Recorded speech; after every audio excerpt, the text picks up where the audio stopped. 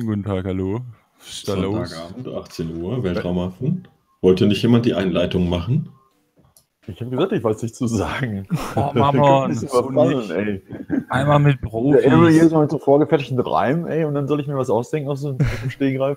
Weißt du, äh, ich verrate dir mal ein Geheimnis, Steve. Die meisten der Sachen sind nicht von vornherein ausgedacht oder so, sondern gelaufen genau so, wie du das ja, gerade erwähnt hast. Live-Blödsinn sozusagen. Das Peinliche ist politisch, meine Damen und Herren. Ja, zack, mich geoutet, peinlicherweise. Nach ja. dem Mammon hängt doch alles. Am Mammon hängt doch alles. Genau, das ist nicht gewohnt, nicht, dass ich mir plötzlich was einfallen lassen muss. Was hängt denn an dem? Hängt da was runter oder was? Ethischer Journalismus hängt an ihm. So, ja. also das, ähm, das Persönliche ist äh, politisch, äh, nennt man auch äh, Politik der ersten Person, ähm, was an sich auch unter dem Begriff ähm, Standpunkttheorie bekannt ist. Und Standpunkttheorie kommt aus der postmodernen Denkschule, was auch ein Bestandteil von Identitätspolitik ist. Und wer ist ein großer Vertreter von Identitätspolitik? Anita Sarkeesian. Und sie äh, erzählt hier in diesem Tweet davon, dass sie eine, eine Journalistin getroffen hat, die über sie geschrieben hat. Und die hat die Argumente der Gegenseite nicht einfach zur Seite gewischt, sondern evaluiert für ihren Bericht. Da standen Sachen drin, das konnte die Anita gar nicht glauben, die waren gar nicht in ihrer offiziellen äh, Hagiografie verzeichnet, die waren nur, äh, das waren Gamergate-Standpunkte praktisch. Und das war jemand, der ihre Arbeit auch noch geschätzt und unterstützt hat. Ja? Also sie will halt sowas ähnliches wie einen ethischen Grundsatz für Journalismus, der sich mit Videospielen, also ethischen Journalismus, der sich mit Videospielen beschäftigt. Ja, Hashtag Gamergate, Anita, willkommen auf unserer Seite. Ja. Das ist jetzt einfach ein ganzer Thread von Leuten, die darauf reagieren, dass Anita Sarkeesian einfach nicht checkt, dass sie gerade einfach zugestimmt hat. und das Problem existiert und so. Naja. Passiert ja jedem mal. Das war so eine Aussage, ne, dass sie das gekauft hätte. Also bought into it. Also in, in die Argumente, also in die Mythen. Ja, und hier haben wir mal wieder aus der Kategorie ähm, Feministen einen jungen Herrn, der verurteilt worden ist, weil er seine eigene Tochter missbraucht hat, der unter Hashtag Gamergate gesagt hat, dass diese Gamergate aufhören sollen, Frauen zu belästigen und so getan hat, als ob er eine Videospielseite aufmacht, wo man Artikel äh, schreiben kann, nur um dann ähm, bei den weiblichen Bewerberinnen für einen Schreibposten äh, mit denen äh, persönlichen Kontakt zu treten, worunter auch eine 15-Jährige war und ähm, das ist halt Anti-Gamergate, wie man es kennt. So, halt ähm, mal die 15-Jährige war aber keine 15-Jährige, sondern jemand von der Polizei. Deswegen haben sie ihn am Ende auch eingesagt, wenn ich das richtig ver verstanden habe. Die ja. lassen jetzt 15-Jährige bei der Polizei arbeiten. Was ist da los? Mensch, OPEX. Nein, aber ähm, Mombot auf Twitter hatte den Fall, also hatte darüber auch geschrieben und hier nochmal One Angry Gamer das nochmal im Detail vorgetragen.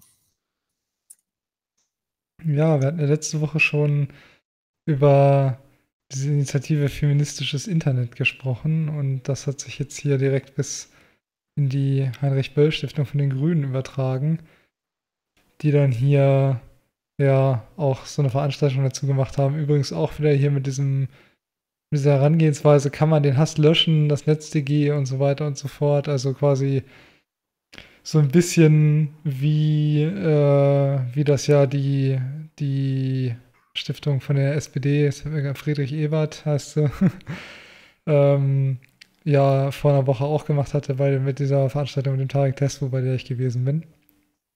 Das scheint jetzt gerade so ein bisschen so ein bisschen hip zu sein. Wer war denn da vor Ort? Jetzt bei dieser Sache hier auf jeden Fall ja. irgendwas mit Netzformer e.V und so weiter. Und dieses Netzformer e.V. habe ich hier gesehen.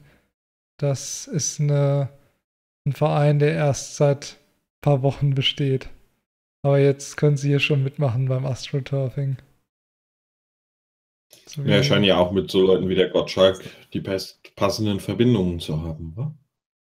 Ja, das auf jeden Fall. Ich kann das nochmal anklicken hier. Vielleicht ist er sogar Gründungsmitglied oder sowas, wer weiß. Naja, der hat sich auf jeden Fall ebenso. Also ist ja der Verein für feministische Netzpolitik. Ganz neu Oh, und retweetet wen Anne Witzurek. Wen wen retweeten die denn da? Ja, das sind hier die, die richtigen Leute, die Netzpolitik machen in Deutschland. Hier die eine hier. Klar, rechte Mob. Gehst noch mal, geh noch mal eine Zeile hoch. Rechte Mobs machen sich das Netz die geht zunutze, um marginalisierte Mhm. Stimmen verstummen zu lassen. Katharina Mosene von Netzpharma e.V. Wofür genau haben wir noch so einen Verein gebraucht, wenn er dasselbe redet wie alle anderen? Ja, weil das ja total seriös wirkt, wenn du 50 verschiedene Vereine hast, die alle das gleiche sagen, mit den gleichen Leuten drin. Das ist dann Mal, die ich- Zivilgesellschaft, die das unbedingt will. Also ich habe ja angefangen, so einfach solche Initiativen zu so Screencappen und zu listen. Ich bin da immer noch nicht fertig mit, aber das ist wirklich echt beschämend, wie die einfach auftauchen und dann existieren und teilweise sogar direkt vom Staat finanziert werden. Aber die, die kommen nicht über irgendwie 200, 400, 500 Follower und ihre Reichweite ist auch kaum irgendwie. 23. Juni hat sich dieser Verein Ja. gegründet. Das, das, das ist wirklich beschämend. So, ich, ich verstehe nicht, was die machen. So, wa- warum? Wieso? Keine Ahnung. Ja, sich zu Politikern begeben und dann einen auf, ja, hier, wir sind die Zivilgesellschaft machen. Alle da draußen wollen das unbedingt, unsere tollen Sachen. Ja, Macht mal, ändert mal Ja. Gesetze, kümmert euch mal drum. ja. Und die Rechten haben jetzt angeblich ihrer Meinung nach das, äh, das Gesetz ausgenutzt, oder wie habe ich das verstanden? Ja, Ja. um halt eben irgendwelche Stimmen damit mundtot zu machen. Wahrscheinlich spielt das wieder an auf diese Sache von letzter Woche, wo wir darüber gesprochen hatten. Oder Ja, war ja auch Unban Verräterin und Unban Ash in den Hashtags bei den Tweets. Ach so, ja. Ja, die Frau Leopold, mit der wir schon so oft zu tun hatten hier, ist jetzt befördert worden. Die war ja wohl schon irgendwie Beraterin bei tagesschau.de und jetzt ist sie tagesschau.de Leiterin. Also die Und- wird Leiterin der Online-Präsenz oder was, ja? Ja, genau. Mhm. Und äh, ich erinnere nochmal an so schöne Sachen wie, das haben wir ja schon immer empirisch gewusst oder nee, empirisch geahnt, war ja der Spruch. Ja, genau. Und solche Ich habe Sachen. das nochmal gerade angeguckt, das Video, das ich gemacht habe über ähm, sie und das Interview, das sie WhatsApp gegeben hat. Das ist schon echt eine Lachnummer. Ja. Ja, und wer es nicht weiß, nochmal äh, ehemalige Leiterin von BuzzFeed Deutschland.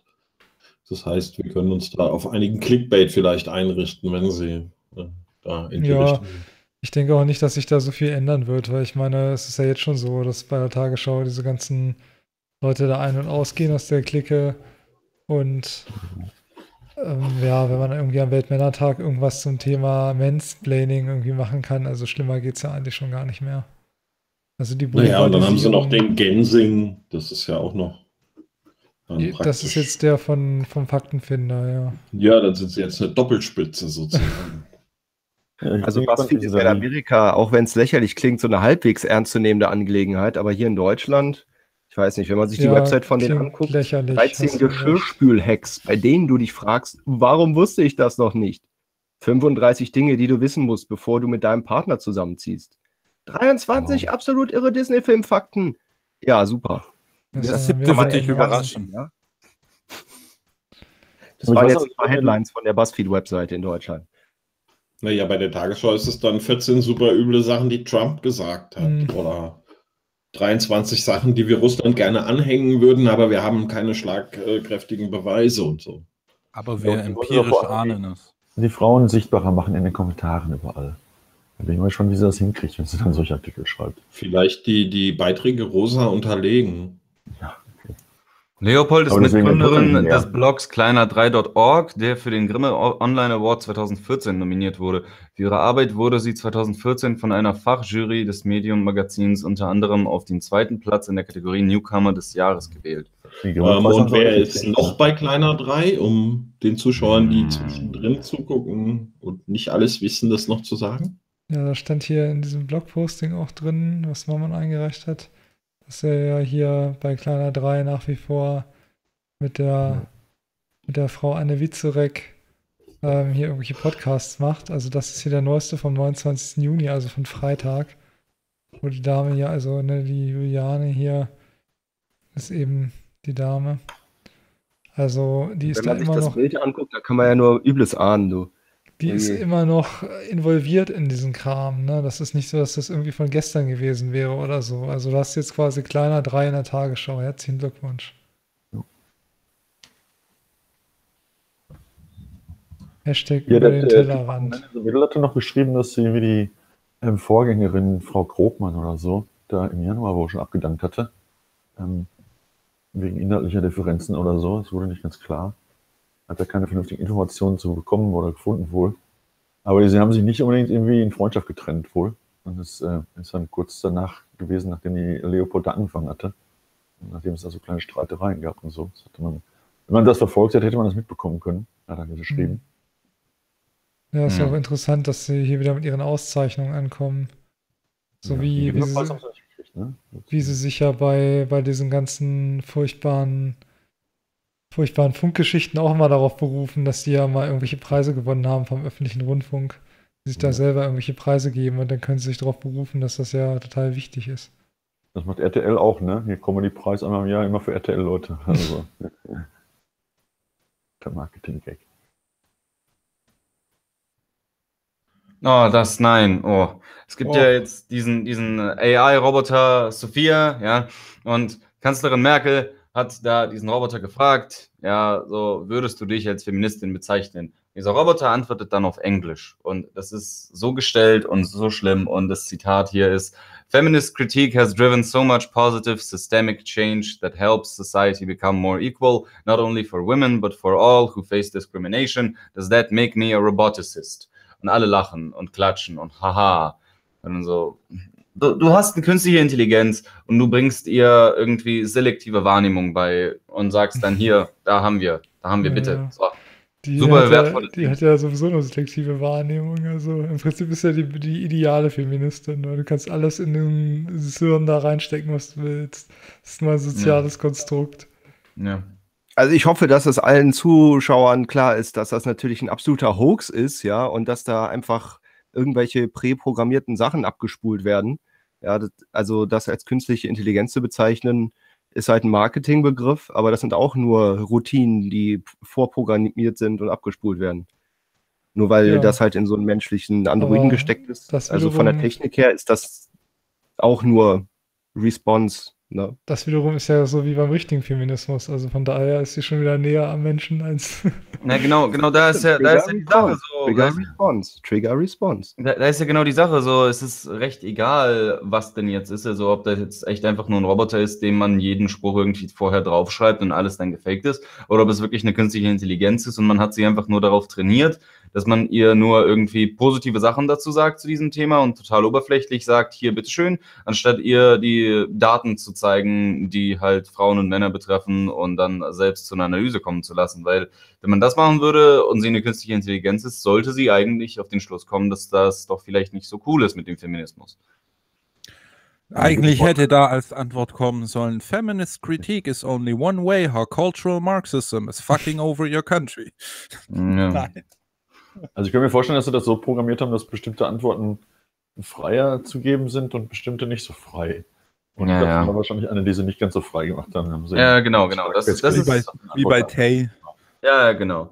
Ja, nur wisst ihr so, so wir haben so künstliche Intelligenz äh, entwickelt und da irgendwie Geld reingesteckt und das als Roboter zu haben, so ein Prototyp. Und dann gibt es einfach so politische Themen, zu denen wir als Gesellschaft nicht in der Lage sind, eine andere Antwort hören zu wollen. Und deswegen muss das irgendwie in unserer Technik drinstecken. So. Aber guckt So. euch mal diese Hände an, damit kann man noch keine Raute machen. In, in Indien hatten sie auch eine AI am Testen. Also da haben sie eine AI mit einer anderen sich unterhalten lassen. Und am Ende haben sich die AIs gegenseitig nach äh, Nudes gefragt. War auch Sehr sehr, lustig. Sehr gut. Und dann sind die terminiert, weil sie keinen Körper haben und dann, dann ist vorbei. In, in China hat die AI angefangen, die kommunistische Regierung zu kritisieren. Ja, ja. Ja, der Ja. eine Roboter ist ja mal auf die Bühne gekommen, wo der Erdogan eine Rede gehalten hat, hat unterbrochen. Hat der Erdogan gesagt, tun Sie, was nötig ist. Ja, auszuschalten. Im Talk mit Wolfgang Kubicki, Moderatorin Julia Stein fragt, wie viel Nähe zu Journalisten lassen Sie zu? Kubicki darauf, kommt drauf an, was haben Sie heute Abend vor? Ekelhaft. Oh nein, FDP schon wieder. Ja, das, Ja. die Dame hier ist eine, ist eine Gender Studies Studierende, angehende Journalistin. Studentin, ja. Und ja, sie hat es auf jeden Fall schon drauf, das Ding. So, Der- über der- Sexismus der sehen und dann ihre, ihre Freunde von Journalistenbund, das sind die jo Journalistinnen da, gleich anrufen. Außerdem war sie zu doof, um die Pro-Quote-Regie äh, da rein zu äh, taggen, weil dieses Pro-Quote LCC ist irgendeine, irgendeine Firma, die, ich glaube, Mhm. irgendwas mit, mit Baudarlehen irgendwie in Amerika macht. Und nichts mit, mit Quote für Geschlechter. Ja. Ja, der, der Witz ist doch auch, dass die Interview, äh, Interviewee, also die Frau, hat den Kubicki auch gefragt. Sie haben mal behauptet, dass sie niemals nach Berlin gehen werden, weil sie dort zum Säufer und Hurenbock werden würden. Und hat halt scherzhaft gefragt, wie es jetzt aussieht, jetzt wo er in Berlin ist. Also, weißt du, das ist in den, in den Outrage-Apparat von der Carina nicht reingelaufen, aber halt, wie viel Nähe zum Journalismus lassen sie zu? Ja, warte, die, die, Situation, die Situation war ja doch, glaube ich, ein Tweet drunter dran. Da hat Kubicki Ja zugesagt. Einfach, einfach Ja. Äh, das haben dann auch dann Leute nochmal äh, dazu geschrieben gehabt. Ich glaube, sie hat auch noch drauf geantwortet. So. Aber ja, das äh, ist trotzdem echt einfach eine Non-Troverse hier. hier. Eine Non-Troverse. Das traditionelle Familienmodell macht glücklicher. In Umfragen schneiden Väter, die zwischen 40 und 50 Stunden arbeiten, am besten ab. Nein, In doch. Sachen Glücklichkeit. Weil sie dann die ähm, ja, Ernährer der Familie sind. Und halbtags arbeitende Väter sind nicht wirklich glücklich und arbeitslose Väter sind am unglücklichsten.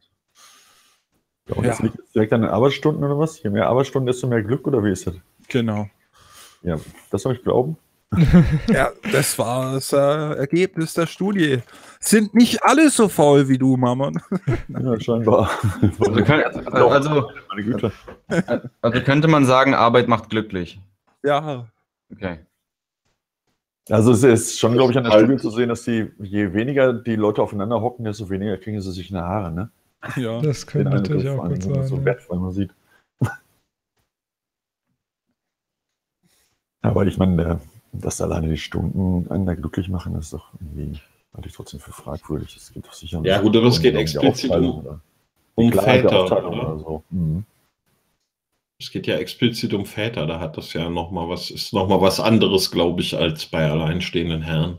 Ja klar, die Provider-Nummer meinst du da. Genau. Ja.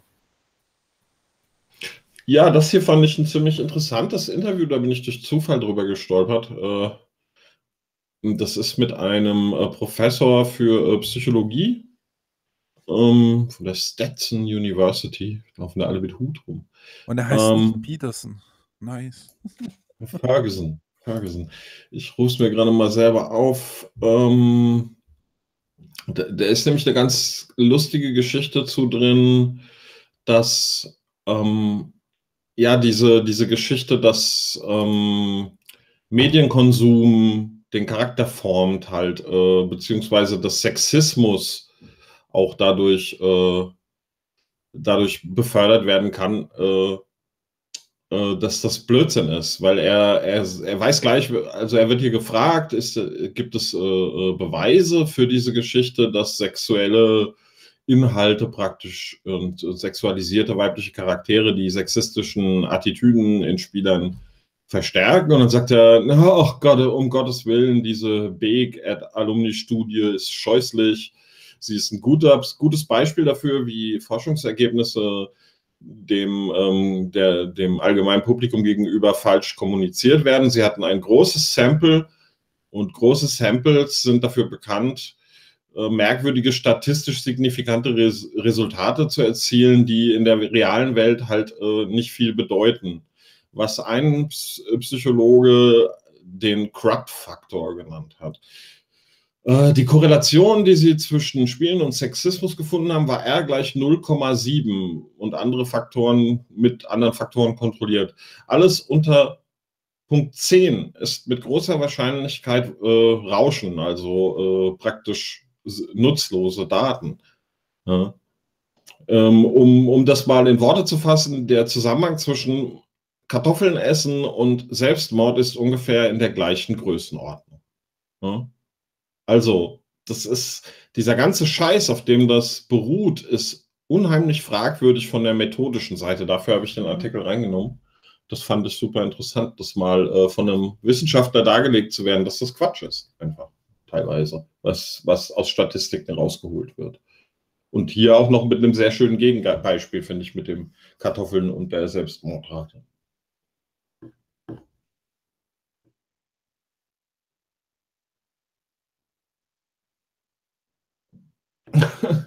ja, und es geht gleich weiter. Das ist auch von mir. Ähm, hier geht es um Sexual Harassment im Brettspielbereich. Ich bin ja da so immer so ein bisschen auf der, auf der Suche nach Sachen aus der Richtung, weil ich selber ein Zocker bin und, und Pen and Paper Rollenspiele etc. pp. Und jetzt haben wir halt auch die, ähm, jetzt hat es auch die Brettspielwelt erreicht. Es gibt doch schon ein erstes Opfer, das sagt, dass, von dass sie von diversen äh, äh, Brettspielherstellern während ihres Aufenthalts in der Szene irgendwie bedrängt worden ist, sexuell belästigt etc. pp. Es ist total alarming und wir müssen dringend was dagegen tun, dass dieses Hobby weiter eine Bastion weißer Männer ist, die Frauen behandeln, wie sie wollen. Ja. Jetzt auch Brettspiele. Viel Spaß beim Siedler von Katan nächstes Mal oder so. Immer schön an die Privilegien denken. Äh, ja, und nicht nur Brettspiele, auch ähm, Smart Home Applikationen. Besonders die, besonders ja. die. Ja, wobei ich den Artikel jetzt schon fast, wenn man sich überlegt, ja wiederum stimmig finde, weil wenn du dich zum Beispiel trennst von einem Partner und der hat alle, alle Möglichkeiten, das bisher gemeinsame Haus über Apps zu kontrollieren, kann das schon ganz schön unangenehm werden, so wenn nachts um zwei irgendwie Metallica anfangen, auf voller Lautstärke zu spielen oder es immer wärmer wird, obwohl du die Heizung gar nicht hochgedreht hast oder solche Sachen. Ne? Aber natürlich, äh, man sieht es gleich schon am Bild, leiden Frauen wie unter allen Problemen am meisten, weil es sind ja die Männer, die die ganzen Apps installieren und diese ganze Technik und so weiter und so fort. Ne?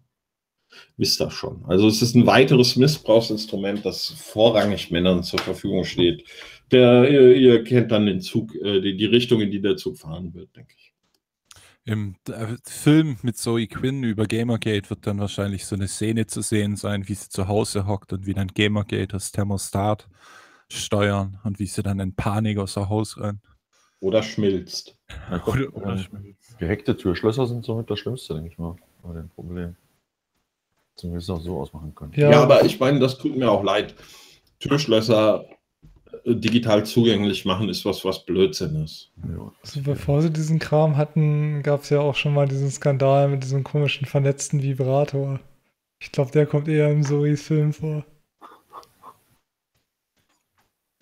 Ja, wo doch die App die Daten ausgelesen hat, wie der Vibrator benutzt wird und es dann ein Riesenskandal war. Wobei man halt auch jetzt, ich weiß nicht, warum der Vibrator internetfähig sein soll. Also. Tja, diese ganzen Smart Home Sachen, die sind halt sehr anfällig auch. Äh, ich sag jetzt einfach mal, wenn man überall die Standardpasswörter benutzt, dann ja. Sehr dann gut, ist sowieso, das ist sowieso digitaler Darwin Award, den du dann kriegst. Also. Oder ähm, ich fand auch eine tolle Story vor ein, zwei Jahren. Ein Hacker, der halt, also, also Hacker in Anführungszeichen, der halt in einem Hotel war, wo alle Türschlösser halt Smart Locks waren und der hat dann einfach ja, mal geguckt, was er mit seinem Notebook im Hotel WLAN so alles anstellen kann. Und das war erschreckend. Ich suche den Artikel mal raus und verlinke den später. Das hier habe ich rein wegen der Überschrift. Also das, das ist so ein saudummer Artikel über irgendwie äh, Prominente und, und Celebrities und Scheiß. Aber ich fand den, den Text, also den, wie weit sind wir inzwischen im Journalismus? Big Dick Energy is over. It's all about cavernous pussy energy now. Was genau Cosmopolitan? Ja, ich habe auch ein paar sehr seltsame Überschriften letzte Woche gesehen. Äh, Also, die haben das nicht mit irgendeiner Energiegewinnungsart jetzt verbunden oder was, ne? nee, es ging um, um sexuelle Anziehungskraft also, oder so. Aber wie gesagt, uninteressanter Artikel, schöne, schöne Schlagzeilen. Ja, hier sehen wir eingeblendet, äh, eingeblendet das Justizportal der Hamburger Justiz und hier geht es um eine Stellenanzeige für Bewerbungen für Staatsanwälte. Und hier wurde sich äh, auf Twitter darüber lustig gemacht oder es wurde halt bemerkt, dass äh, bei der Staatsanwaltschaft Hamburg sind Staatsanwälte unterrepräsentiert. Männliche Bewerber werden daher bei gleicher Eignung, Befähigung und fachlicher Leistung vorrangig berücksichtigt. Das steht unten auch nochmal und das ist ja normalerweise ein Satz, den man so nicht unbedingt liest. Da würde ich sagen, hat die Quote mal zugeschlagen in die andere Richtung. Finde ich bemerkenswert. Also ich glaube eher, dass dann jemand Einzelnes zugeschlagen hat, nämlich derjenige, der das formuliert und entschieden hat oder so. Ja, das, ähm, ja also ich habe da eigentlich so ein Statement gelesen gehabt von Leuten, die dafür verantwortlich waren, dass halt in diesem Hamburger Gleichstellungsgesetz drinsteht, dass die jeweils das jeweils unterrepräsentierte Geschlecht quasi bevorzugt da einzustellen ist. Trotzdem brauchst du immer noch einen, der das dann macht. Also sehe ich so. Ich glaube, das ist ja, doch überall ja, so. Also ich meine, gut, wenn man jetzt hier nach dem deutschen Juristenbund geht, der ja hier dann irgendwie behauptet, das sei ja alles überhaupt gar nicht mit dem das Grundgesetz zu vereinbaren, die Männer zu bevorteilen, weil das ja auf die Zahlen überhaupt gar nicht ankommt, finde ich auch lustig für die Leute, die die ganze Zeit Parität ja. haben wollen, dass es ja auf die Zahlen überhaupt nicht ankommt. Mhm. Und ähm, ja, aber die strukturelle, die strukturelle Benachteiligung, das ist ja das Ding. Ja, was anderes haben sie aber auch nicht, ne? Ja. Das ist so ihr, das irgendwie ihr Argument of Last Resort, oder wie das heißt. Ja, wir können ja mit dem Hexenverbrennen nicht aufhören, weil der Satan, der ist ja immer noch da. Ja, die Satansstrukturen. Also, aber das fliegt ihnen doch um Ohren irgendwann, wenn einer mal fragt, was das denn sein soll. Ja, nee, das ist halt. Dann sagen sie wahrscheinlich, Frauen sind ja immer noch weniger so generell irgendwo, wo Macht ist. Und, äh, Muss man aber einen willigen Gläubigen haben, der das dann. Ja, gibt's genug. ja, natürlich, ja, ja. In unserer Politik auf jeden Fall. Ja. ja, bei den Gerichten vielleicht nicht mehr ganz so viele, ne? Wäre ja auch mal Hoffnungsschimmer oder so. Hier sehen wir einen kleinen Beitrag von Euronews ja, Euronews, äh, zu ja, einem Projekt in Kenia, wo im Endeffekt äh, polnische internationale Hilfsorganisationen den Leuten helfen, äh, Feuerwehren-Netzwerke aufzubauen. Und da gab es zwei Probleme. Zum einen gab es das Problem, dass äh, alleine dadurch, dass die Feuerwehr immer so spät erst bei den Bränden ankam, weil einfach so wenig Feuerwehr vorhanden ist, da waren die Anwohner oftmals etwas äh, ja, ärgerlich darüber und haben die Leute angegriffen, so dass deswegen weniger Leute das machen wollten. Und dann gab es halt auch Probleme beim Ausbildungsstand und bei der nachhaltigen Motivation von anderen Feuerwehranwärtern. Und deswegen setzen die da jetzt auch Frauen, weil da eine geringere Wahrscheinlichkeit besteht, dass sie angegriffen werden und weil die halt auch nachhaltiger an den Trainingsmaßnahmen teilnehmen. Oh Mann, um, das ist halt schon wieder so ein hartes Problem. Also die Feuerwehr wird angegriffen. So, ich ja. weiß, ich, das ist einfach nur so, wow, Applaus. So, irgendwann erreicht ja auch die moderne Feuerwehr angreifen. Gut Aber Job. Frauen selten angegriffen als die Männer in der gleichen Rolle, das ist ja total ungewöhnlich. Ja, also ich meine, das ist an sich ein positives Programm, ein positiver Beitrag von den Polen. Mhm. Wollte ich mal herausstellen. Die sind wohl international, die haben halt sich so äh, in der Entwicklungshilfe ihre Nische rausgesucht bei der Ausbildung von Feuerwehrleuten im Ausland. Finde ich mal erwähnenswert weil das ist ja Feuerwehr, ich meine, da kann man wirklich nichts gegen sagen. Und die haben ein Konzept jetzt anscheinend gefunden, was wirklich funktioniert. Haben jetzt 300, bin mir nicht sicher, 300 äh, Feuerwehreinheiten, glaube ich, im Land aufgebaut. Und das ist das erste nachhaltige Feuerwehrnetzwerk, was die jemals hatten in dem Land. Also auf jeden Fall bemerkenswert. Ja. Und es hat da gar nicht an Geld gemangelt. Es gab schon sehr viel andere Entwicklungshilfe. Es hatte einfach kein Kon die haben einfach kein Konzept gefunden. Und jetzt haben die eins gefunden, was nicht mal allzu teuer ist. Tja, interessant. Äh, während man bei uns Sieht ganz etwas seltsam aus, die, äh, die Damen, wie die da mit den riesigen Feuerwehrhelmen und den riesigen Löschschlauchen an den Leitern entlang hangeln, aber es scheint zu funktionieren. Also was soll man sagen? wir in Europa kümmern uns da um die wirklich wichtigen Sachen, wie wir das gewöhnt sind, nämlich in äh, Großbritannien, das ja nicht mehr lange Teil Europas ist. Ähm, überlegt man sich jetzt, Frauen nur noch dann in den Knast zu schicken, wenn sie ähm, gewalttätige Taten äh, begehen. Also es kann ja nicht sein, dass Frauen einfach für irgendwas eingesperrt werden, nur weil das im Gesetz steht. Die sind ja strukturell schon so benachteiligt, wie wir eben gelernt haben. Und ja, diese. Ja, aber guck mal, nach dem Delut-Modell ist ja selbst eine gewaltsame äh, Straftat aus der Seite der Frau immer Selbstverteidigung und immer durch strukturelle Ungleichheit bedingt. Also, ja, wir reden ja hier auch von Sachen wie Ladendiebstahl oder so. Ja, aber da kann man, wie gesagt, zu jeder Situation hingehen und sagen, die Frau ist unschuldig, sie musste das machen, weil die Männer in ihrem Leben und so und so und so. Ja, ja, jemand anders die Frau musste irgendwie die, die Tampons klauen wegen der Pink Tags. Hm. Ach so, ja, okay. Nee, also, ja, ich finde das ziemlich besorgniserregend, dass Politiker so einen Blödsinn inzwischen in den Medien äußern können, ohne dass sie sofort abgesägt werden, weil das ist einfach Blödsinn. Don't send women to prison. Don't send humans to prison unless they commit a violent crime. Fände ich auch nicht vernünftig. Aber es wäre schon mal ein Schritt in die richtige Richtung für den Artikel. Aber nur Frauen, warum? Mit welcher Begründung? Was, was, heißt denn auch violent? Also ich meine, wenn man jetzt jemanden beklaut, dann ist es auch eine Verletzung von, ja, von Recht oder so, in dem Fall. Und von Eigentum. Außerdem behaupten die auch ständig, dass von Worten schon Gewalt ausgehen kann. Also wenn eine Frau zu mir sagt, du Arschloch, ab in den Knast. Ja. Das wäre gut.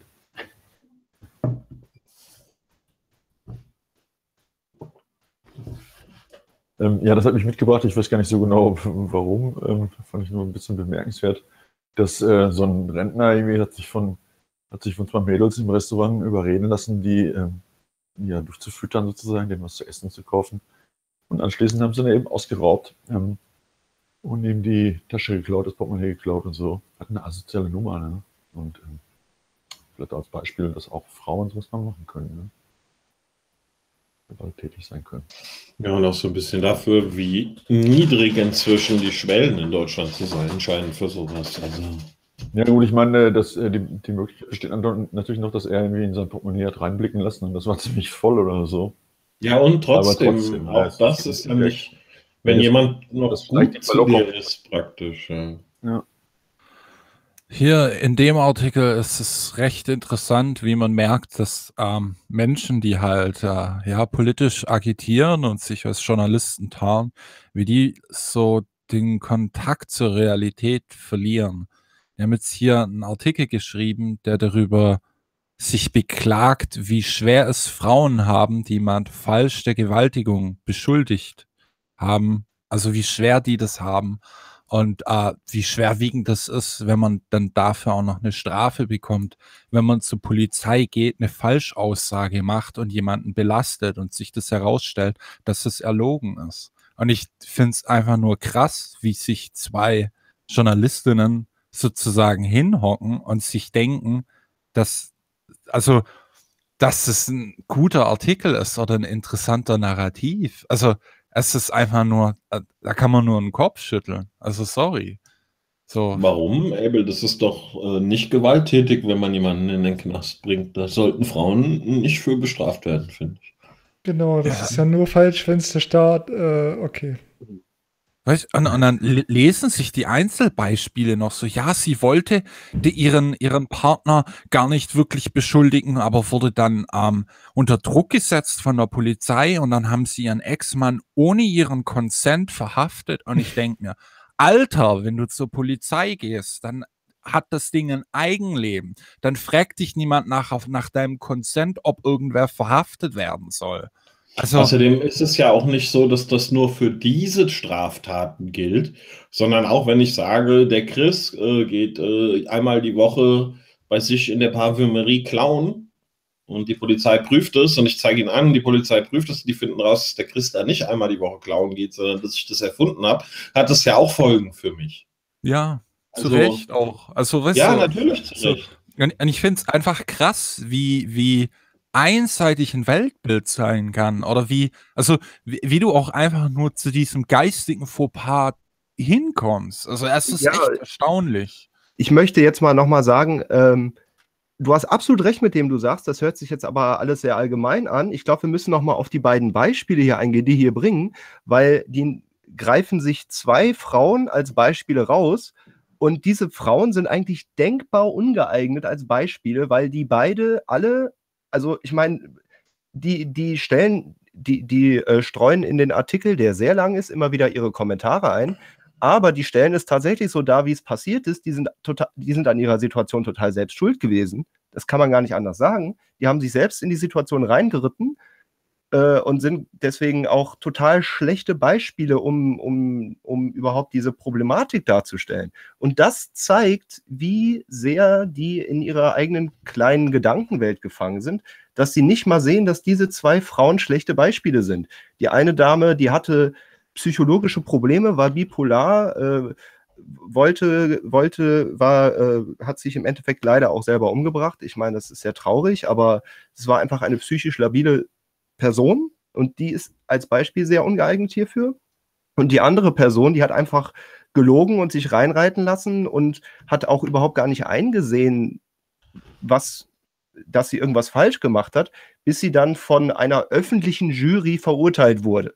Ja, die halt gesagt hat, so ja, du hast halt verschiedene Sachen gemacht und sie ist ins Gefängnis gekommen, ist wieder rausgekommen und weiß überhaupt nicht, was, was sie überhaupt falsch gemacht hat. Heutzutage immer noch nicht obwohl es eindeutig ist. Also ein sehr langer Artikel, aber da, ich bin auch, ich habe wirklich, ich bin wirklich sehr wütend geworden, wenn man das immer weiter liest, vor allem auch immer mit den eingestreuten Kommentaren. So, ja, sie hat zwar alles selber verschuldet, aber trotzdem ist sie ja das Opfer. So nach dem Motto. Ja, ja und ich möchte nochmal darauf hinweisen, dass äh, ja, als wir in Deutschland sowas hatten, sich unsere Familienministerin dahinter gestellt hat, alle möglichen Journalisten, also ich sag nur Team Gina Lisa.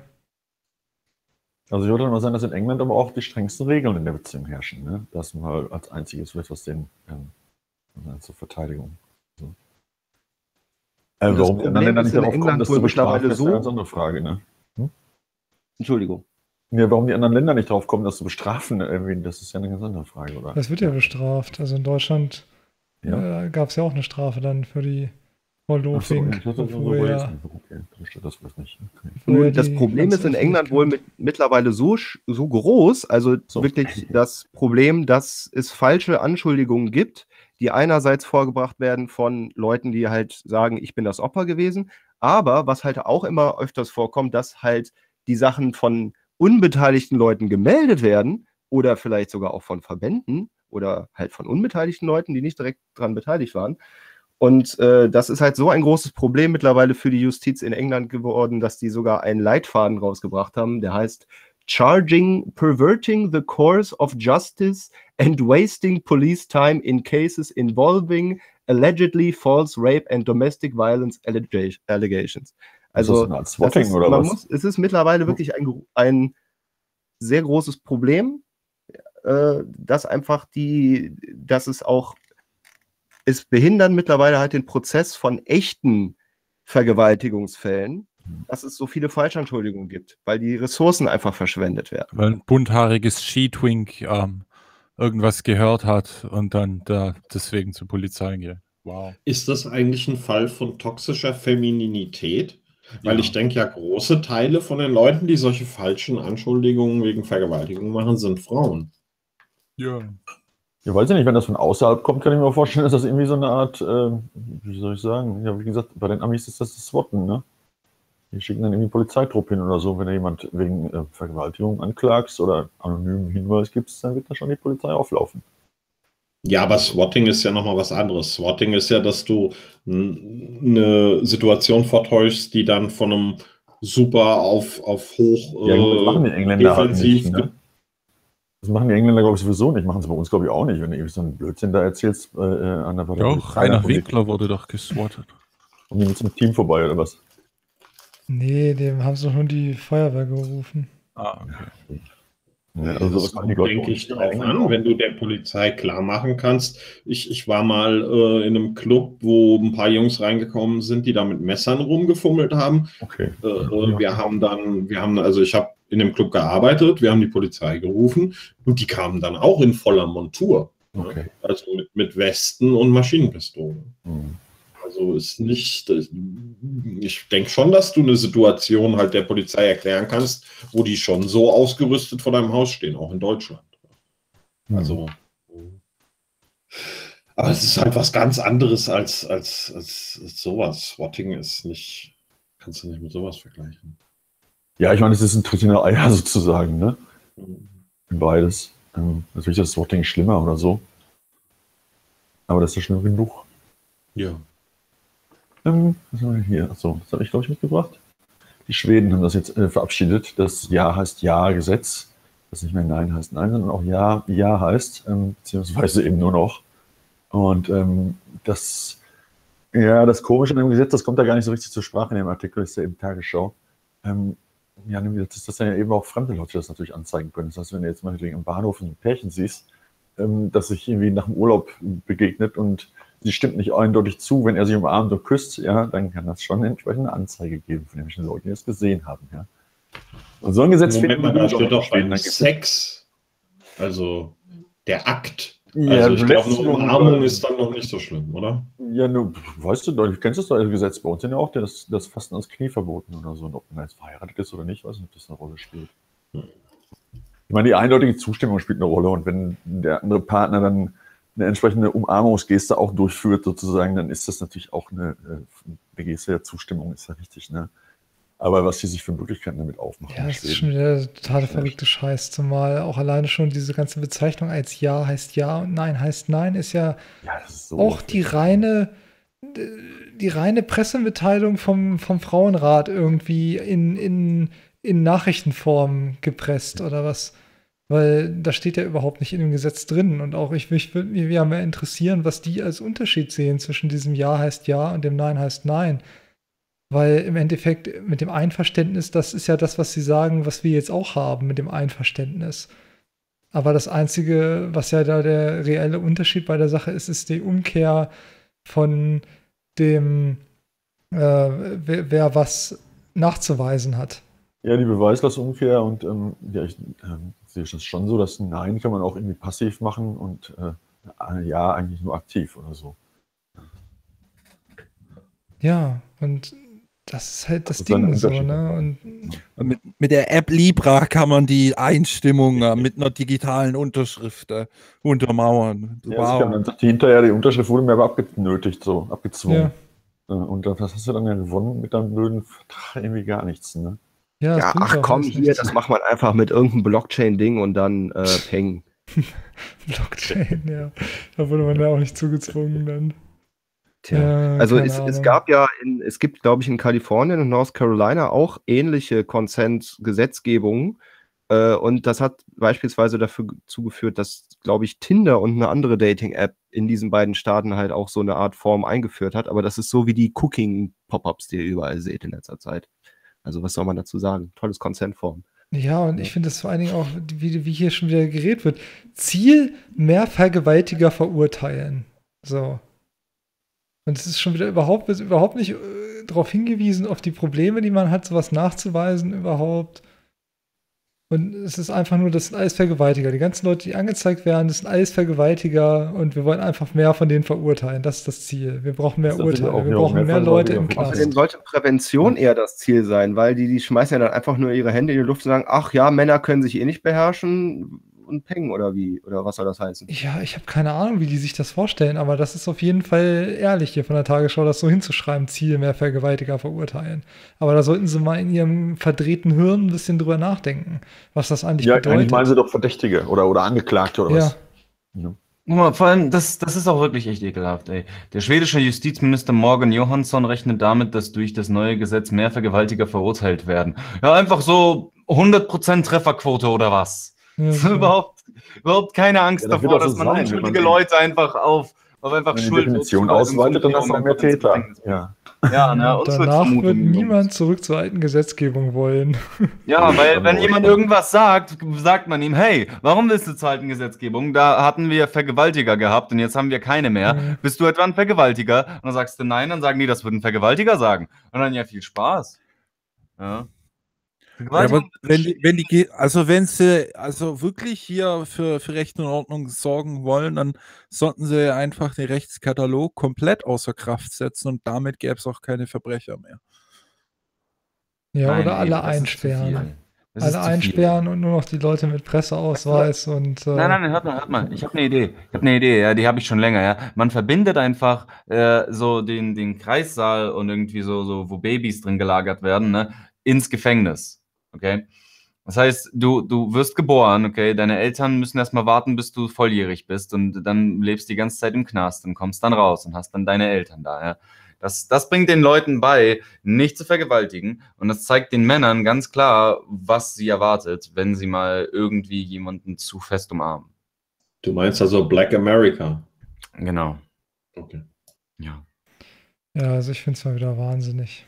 Es ist es wirklich, es ist krank. Also, Und vor Ja, allen man Dingen sieht ja, vor allem also, schon jetzt die, die Statistiken oder die Meldungen darüber, dass dann da in, in Schweden die Zahlen wieder zugenommen hätten. guck mal, in Schweden, das für seine Gleichberechtigung bekannt ist, hm, hatte die MeToo-Kampagne gegen sexuelle Belästigung besonders hohe Wellen geschlagen. Ah, ja, das verknüpfen sie jetzt damit oder so, als ob das nicht schon sowieso ständig, ich meine, an, an, an dem Abend, wo sie die Reform vom Sexualstrafrecht in Deutschland äh, durchgeboxt haben, da war schon irgendwelche Leute von diesem Juristenbund und so irgendwo in den Medien, die gesagt haben, ja, und als nächstes dann ja heißt ja. Anne Witzorek hat es auch rausgetwittert, das ist vollkommen logisch, dass das, das nie- alles nur ein Etappenziel ist und dass es dann weitergeht. Und da wird es wieder irgendwie so einen auf, ja, das ist ja die Notwendigkeit irgendwie, äh, die Notwendigkeit von den äußeren Umständen und wir wollen das ja alles überhaupt gar nicht, aber die äußeren Umstände, die zwingen uns ja dazu, genauso mit der Kölner Silvesternacht und diesem ganzen Kram. Vollkommener Bullshit, die haben da schon viel länger für ge gepusht auf den Kram und eigentlich war das, war es alles begraben und vergessen. Und dann haben sie es wieder rausgefischt, weil sie die Möglichkeit gesehen haben und es gemacht, es ist widerwärtig. Und, und wer weiß, was jetzt das noch wieder braucht, irgendwie, damit wir das in Deutschland dann auch noch kriegen, ist es sowieso nur eine Frage der Zeit. Es ist nur Guck eine mal, Frage der Zeit. Wenn wir uns schon so hinbewegen, okay, in so eine Gesellschaft, ja, die, die so total, was Sex angeht, richtig so auf, auf Zehenspitzen rumläuft und so, ne, dann denke ich mir, okay, äh, wir könnten so ein Ding haben, wo wir eine Partnerbörse haben, wo die Eltern einfach die Kinder untereinander verheiraten mit anderen Kindern aus anderen Familien. So, So wie in der Türkei. so wie in der Türkei, so wie in China. So, so sorgen wir doch einfach dafür, dass wir auf einem Marktplatz eine riesen Wand haben, wo Leute dann anstatt Arbeitsstellen und so Anzeigen einfach ihre Kinder dann verheiraten äh, geben möchten. So hier. Oder wir machen das einfach so, dass wir aus Solidarität jetzt einfach mal 100 Jahre nur innerhalb der Familie heiraten, damit wir an andere Länder rankommen von der Entwicklung. Ja, genau. Besonders die Cousins und Cousinen ersten Grades sind so. Ja, richtig Ja, das fällt mir jetzt gerade nicht so ganz, erschließt sich mir jetzt nicht, was das jetzt hier mit dem Ja, ist Nein, der nein. Kram zu tun hat, aber Nee, das, das meine ich nicht. Nee, ich meine damit, dass du, äh, wenn du so auf dem Marktplatz stehst und dann siehst, hier, äh, die Eltern von dem Kind, die, die garantieren mir, dass das Kind äh, kein Vergewaltiger ist, also, also nehme ich das. Oh, Mensch, OPEX hier. Kinder ne? verkaufen, so nicht. Nicht Kinder verkaufen, die müssen schon 18 sein. Hier geht es um eine Studie von, von Reuters und der Poll 2018 Trust, wo die USA noch vor Sudan als drittschlechtestes Land für Frauen gerankt wird, wegen der sexuellen Gewalt. Ja, kommt da, ähm, ich weiß nicht, ist, hast du den anderen Artikel auch, wo die Top 10 genannt ist, die Top 10 der Staaten? Ja, Weil das es war ist ja irgendwie durcheinander. Das, hier stehen ja Top 10 drauf, aber die Top 10, die du hattest, waren andere Top 10, obwohl das irgendwie auch von der gleichen Quelle war, keine Ahnung. Eine absolute Zahl zugrunde gelegt oder was? Ja, also der dritte Platz war konkret für äh, Risks women face in terms of sexual uh, violence, including rape, sexual harassment, coercion into sex and lack of access to justice in rape cases. Da war die United States auf Platz 3. Und was aber noch krasser ist, weil die halt da auf Platz 3 waren, sind die im kompletten Ranking unter allen Gesichtspunkten auf Platz 10 gelandet. Und ich lese jetzt einfach mal vor, die, die äh, Länder, äh, also, also das ist kein, ein, Platz 1 ist am schlechtesten für Frauen und ja, also Indien ist Platz 1, Afghanistan Platz 2, Syrien Platz 3, Somalia Platz 4, Saudi-Arabien Platz 5, Pakistan Platz 6, die Demokratische Republik Kongo Platz 7, Jemen Platz 8, Nigeria Platz 9, bislang keine Überraschung und jetzt kommt United States. Ja, und wenn man sich die Liste auch durchliest, ja, man kann sich das hier in allen anderen Ländern, ja, hier das Militär vergewaltigt die Zivilbevölkerung, Frauen werden auf offener Straße umgebracht, bla bla bla bla bla und auf Platz 10 United States. In, also, das ist wirklich Hysterie. Also ja, da können wir ja dann mal zu dem kommen, was oben in dem Tweet steht, was äh, Christina H. Summers dazu sagt. Nämlich, was war ihre Methodologie bei dem Rausfinden dieser tollen Sachen? Sie haben äh, äh, Gender-Experten nach deren Beobachtungen gefragt. Ja, meine Fresse, Alter. Weißt du, im Vergleich hast du dann sowas wie, wie äh, Sudan und, und, und Somalia, weißt Kongo, Afghanistan und dann kommen USA. Meine Güte, Alter, dass die Leute das selber nicht mehr merken. Das ja, aber das, ich meine, das ist ja ein ganz klares Plus für die Leute, die schon seit, seit ewiger Zeit sagen, dass das alles eine völlig übertriebene Scheiße ist und dass es diese ständige Thematisierung, in, dass man in Kinderbüchern jetzt schon anfängt, die Leute darauf hinzuweisen, so ungefähr, dass es genau das ist, was zu so einer Einschätzung führt am Ende. Tja, also nach eigener Aussage hat äh, Thompson, die Thomson Reuters Foundation, die, die diese Studie angefertigt hat, 550 Experten, Experts on Women's Issues weltweit befragt und die sollten aus allen 193 United äh, Nations Member States die Liste herausstellen. Und da unter allen 193 ist Amerika auf Platz 10 gelandet. Und jetzt könnt ihr mal überlegen, warum. Ja. Das hat nichts mehr mit Fakten zu tun. Also wenn ich das so lese mit diesen Top, Top 10, ne? Und äh, da, heißt ja eigentlich faktisch, dass Syrien, Kongo, Südafrika, Pakistan und Afghanistan alle weniger gefährlich sind für Frauen. Ne? Hm. Dann sollen doch einfach mal Frauen nach Afghanistan gehen. Ja. Was das eine Kriterien angeht, ich lese es nochmal vor. Ja. Sexual Violence, Rape, Sexual Harassment, Coercion into Sex and Lack of Access to Justice in Rape Cases. Ja, da ist es auf Platz. Dann, dann, sollen die doch einfach alle in die Länder reingehen, okay? Wer jetzt an diese Statistik glaubt, ich will jetzt nicht, dass Frauen einfach umkommen, okay? Das nein. Aber äh, das, äh, die sollen einfach mal nach Pakistan, nach Südafrika, nach Afghanistan gehen und dann mir mal erzählen, ja, wie es hier voll hart schlimmer ist. Also nicht hier im Sinne von Deutschland, sondern nach Amerika, so bla. Ja, versteht, wie ich meine, oder? Das ist so ein bisschen wie, äh, wird das Dorf von Wölfen angegriffen? Wir fragen mal den Jungen, der immer Wölfe, Wölfe ruft. Ja, ohne Spaß. Ja. Freiheit ist weiblich. Genau, Freiheit ist weiblich. Das Atlantikkonzil vergibt irgendwelche Preise, unter anderem an dieses Mädchen, was aus Syrien getwittert haben soll. Bitte, bitte, liebes Amerika, mach mal Assad weg. Und ja. Das ist auch geil. Ich meine, gleichzeitig Fake News bekämpfen und dann so eine Ikone vor sich hertragen, die offensichtlich genau das ist. Interessant. Aber ich finde es gut, dass er das Deutsche so gut drauf hat, weil die Freiheit ist weiblich. Das stimmt. Grigorios Agelidis. Ich will auch schon, habe ich mal gesagt, Armut ist weiblich. Klar, die Armut. Ne?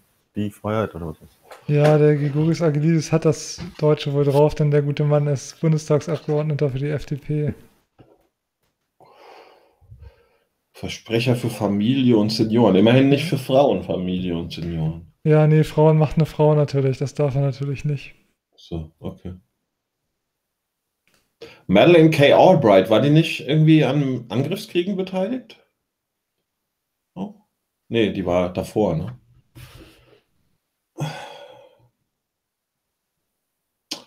Private message revealed that cis journalist groupthink behind transmedia narratives.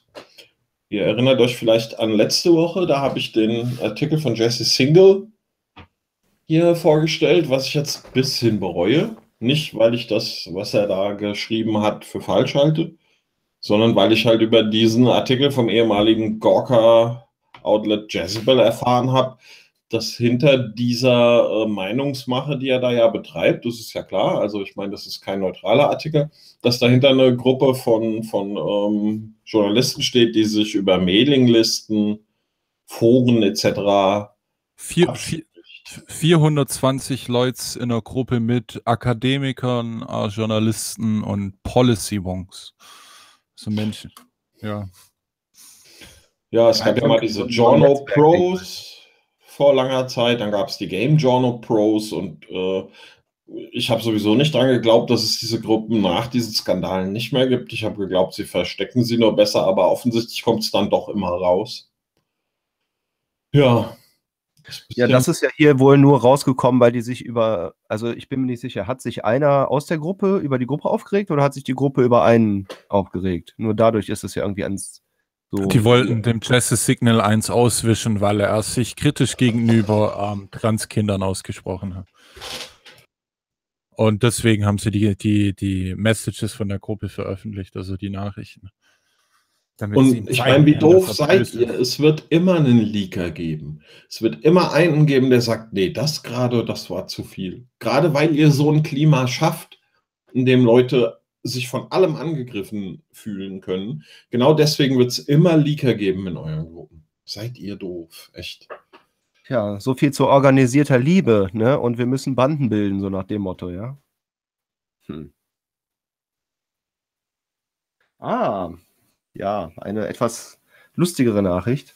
Gay swans in Austria attacked humans to protect their adopted baby. A plastic cup. Ja, hier äh, gab es an einem See in Österreich äh, ja eine quasi eine Gefahr für Badegäste, weil die immer von Schwänen attackiert wurden. Und äh, das ist nicht nur in einer Saison passiert, sondern in zwei Saisonen nacheinander. Und dann wurde darüber beraten, was denn halt im Endeffekt mit den Schwänen passiert, passieren soll. Es gab einige, die haben sogar vorgeschlagen, die Schwäne einfach zu entsorgen, wenn ihr versteht.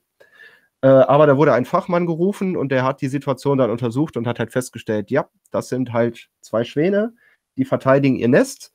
Und äh, das dauert so lange, weil die halt kein, eigen, kein wirkliches Kind haben, sondern einfach nur einen Plastikbecher als ihr Kind adoptiert haben, weil das zwei männliche Schwäne sind. Und das ist wohl ein Verhalten, was Schwäne oftmals zeigen.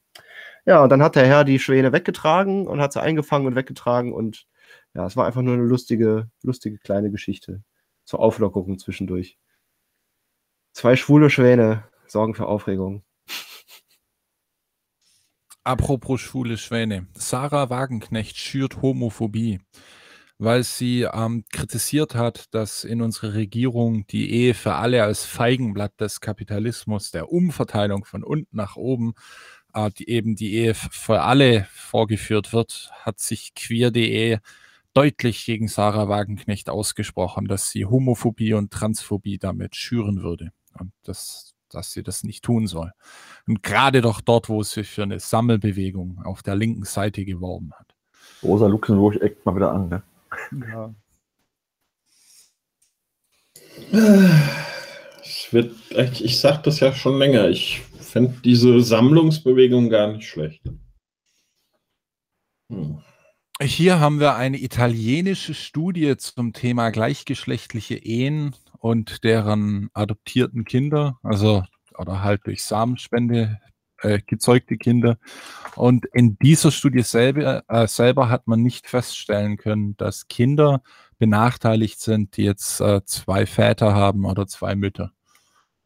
Ich habe zu dem Thema auch schon öfters äh, Studien in die andere Richtung gelesen und war jetzt einfach erstaunt, sozusagen jetzt hier ein Gegennarrativ zu haben und dachte mir, dass ich das doch gleich mal mit reinhole in die Quellen, weil ja, bin immer offen für alles und ich habe jetzt an der Studie selber jetzt keine schweren Mängel feststellen können, aber es ist halt auch immer die Frage, ob das Advokatenforschung ist und ich konnte jetzt bei den Leuten selber das nicht direkt feststellen. Also, ja. Haben Sie jetzt genau rausgefunden, dass es schädlich ist oder nicht? In dem Fall nicht schädlich. Also es war. Ja, habe ich aber schon mehrfach gelesen. Also ich habe das bisher eher so rumgelesen. Ich habe schon öfters gelesen, dass das halt äh, nicht so gut für die Kinder ist. Also, ja.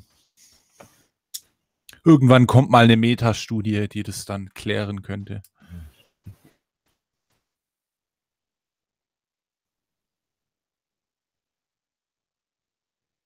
Ah ja, die ist mir vor die Füße gefallen, auch beim Twitter-Lesen. Die Pyramide der White Supremacy.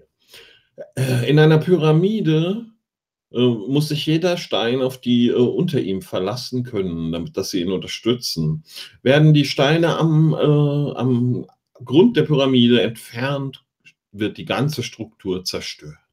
Zeig uns doch mal noch ein Stück runter, was die Steine am Grund der Pyramide der weißen Vorherrschaft sind. So, politics don't affect me. Not challenging racist jokes, remaining apolitical. Also nicht politisch sein, sagen, Politik betrifft mich nicht. Sich bei rassistischen Witzen nicht einmischen.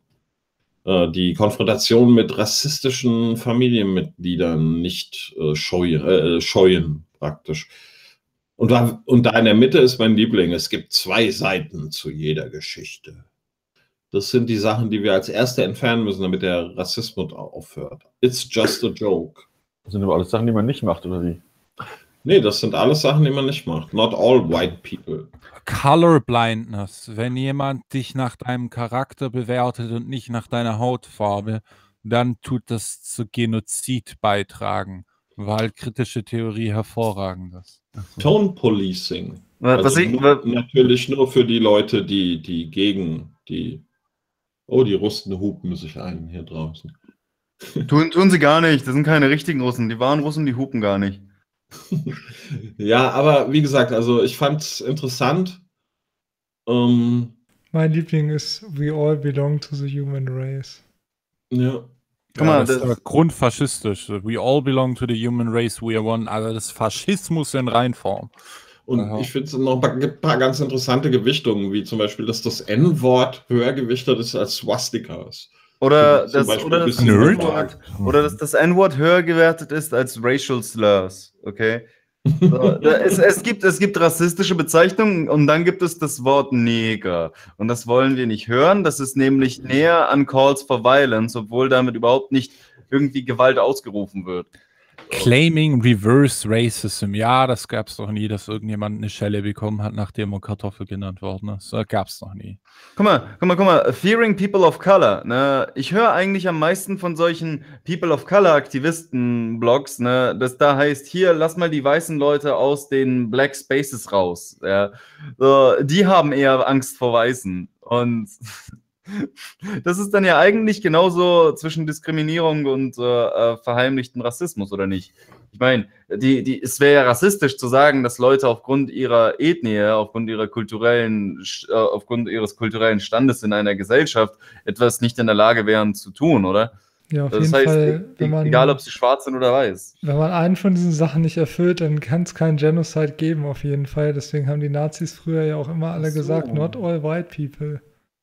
Ach so, ach so. Und haben ihre Schulen lokal äh, äh, finanziert. Und haben Das gesagt, mein schwarzer Freund hat gesagt.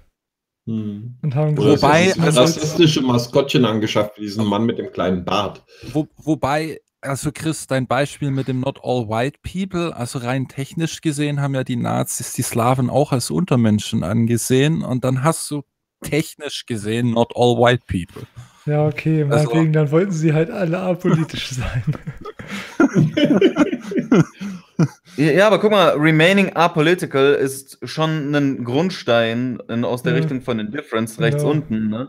Ja, So, also das heißt, Wenn du nicht für uns kämpfst, kämpfst du gegen uns. Ja, Warte, ja, wenn ich, wenn ich, wenn ich kein nicht Genocide politisch machen. bin, wenn ich nicht politisch bin, dann ist das ein Grundstein des, äh, der, der weißen Vorherrschaft. So, da, Das das. ist eine Fangfrage. Du kannst gar nicht politisch sein, weil das Private ja schon äh, nicht, nicht politisch sein, weil das Private doch schon politisch ist. Apex. Ja, nee, aber ich würde das gern verstehen, weil es, es eigentlich so ist, dass es hier überhaupt keine Ausnahmen gibt. Also wirklich alles. Egal, was du tust. Außerdem, dann- haben die Nazis total viele English-Only-Initiatives gemacht. Ja, Alles, was du machst, ist ja politisch, auch wenn es privat ist, natürlich. Und wenn du dann behauptest, du ähm, interessierst dich nicht dafür, dann nimmst du eben nicht aktiv genug teil. Mhm. Du bist ja nicht aktiv genug gegen. Und die. Konfö die konföderierten Flaggen, die hatten sie in der Nazi-Zeit auch jede Menge. Prioritizing Intentions over Impact. Also die Intention von dieser Pyramide ist für ein besseres Zusammenleben in der Gesellschaft zu sorgen. Der Impact ist, dass man das rass rassische, tribalistische Bewusstsein der Menschen schärfen tut. So.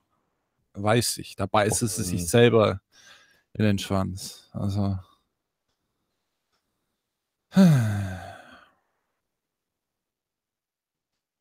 Tja, aber gut, dass wir das geklärt haben. Pyramiden sind keine Startrampen für Raumschiffe, sondern auch nur ein soziales Konstrukt. Gebaut mit Kulturmarxismus. Ganz anders.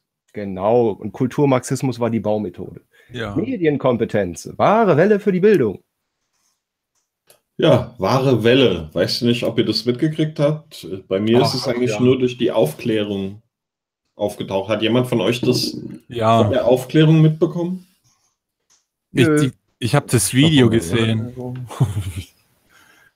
Also, Was war, war, hat, war das unter irgendeinem anderen Namen? Oder war das. Blumen und Bienen oder so, oder? Nee, es sollte wahre Welle heißen und angeblich hat eine Seite mit dem Namen Breitbart Deutschland für wahre Welle TV geworben. Da wäre ich gleich misstrauisch geworden, weil Breitbart Deutschland war doch sowieso jemand, der das gekauft hat, als Breitbart mal irgendwie angedacht hat, nach Deutschland zu gehen, um Breitbart zu ärgern. Und auf LinkedIn und Xing waren Stellenanzeigen für Moderatoren und Reporter zu finden. Also irgendein Alternative Media Ding sollte das sein. Und die haben wohl auch irgendwie Videos gemacht und Sachen. Ähm, hier, dieser, wie ist es hier? Du suchst eine Redaktion, die sich nicht von modernen Sozialtrends verblenden lässt, sondern systematisch und faktenbasiert arbeitet. Das finde ich schon ganz lustig, dass hier so die, die, dass hier praktisch die Vorurteile gleich in die Bewerbung eingebaut werden. Ja, und am Ende kommt da raus, es war alles ein riesiger Hoax. Und das ist finanziert worden mit deinem Steuergeld über die Bundeszentrale für politische Bildung, um den ganzen alternativen Faktenleuten mal so richtig eins auszuwischen. Irre, oder?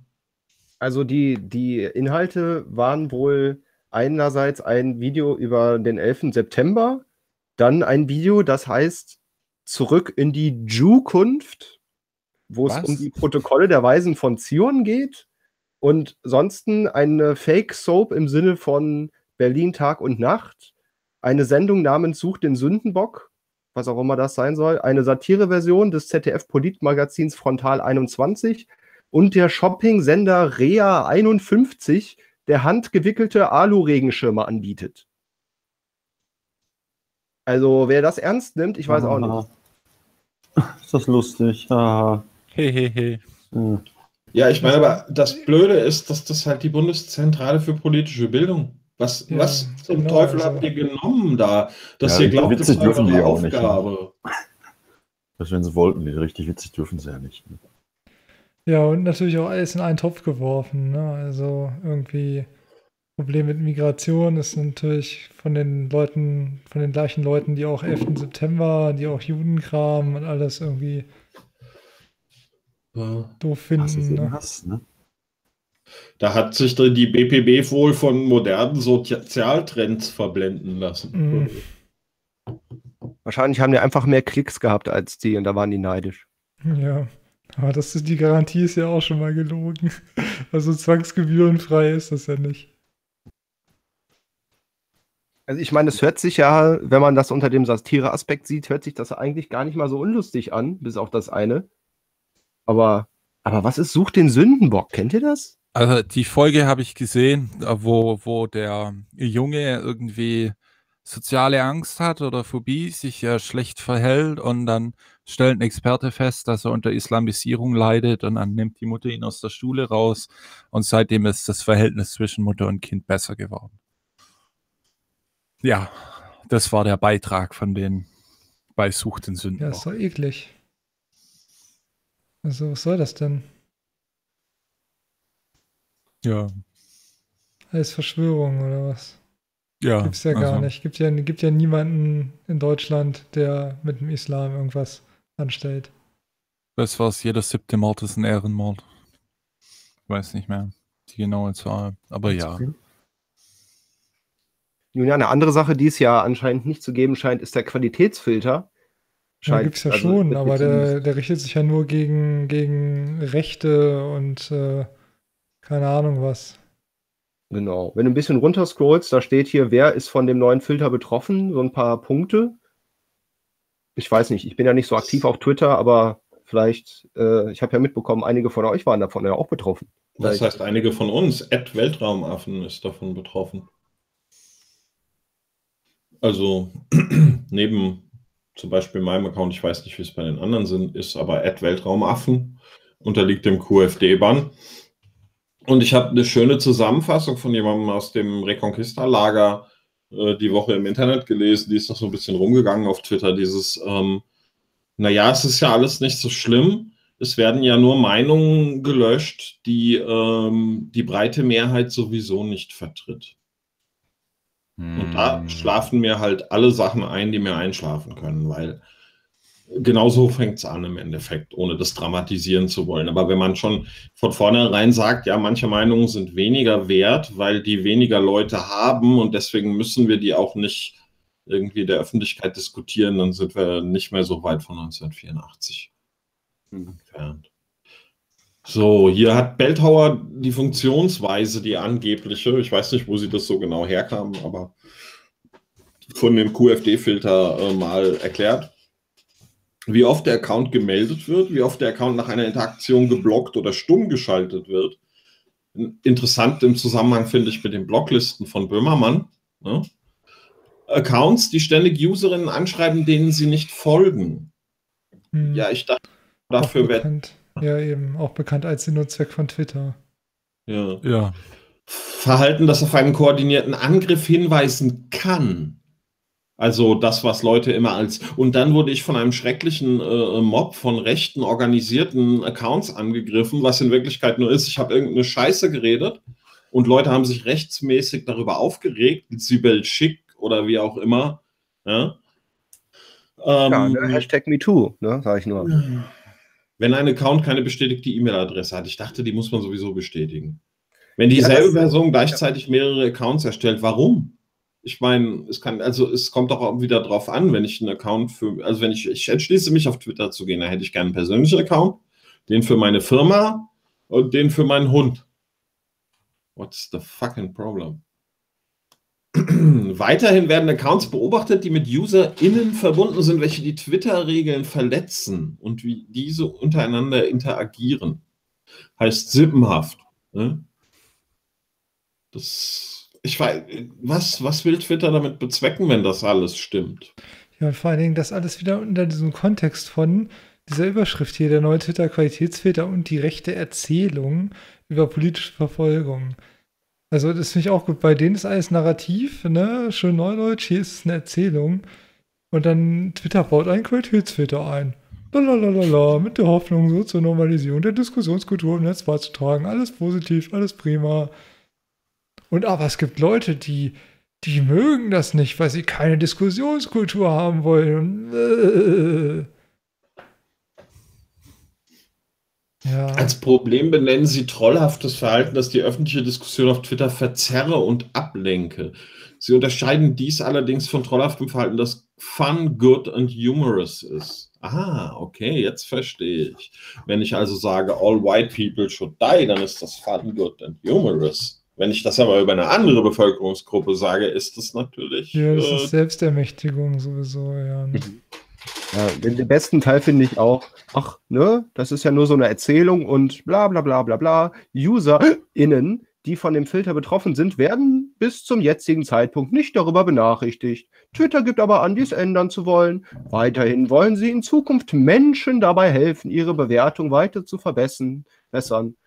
Ja, in ihren ersten internationalen Tests hat Twitter einen Rückgang um 4% bei Beschwerden in ihren Suchergebnissen und 8% in Unterhaltungen festgestellt.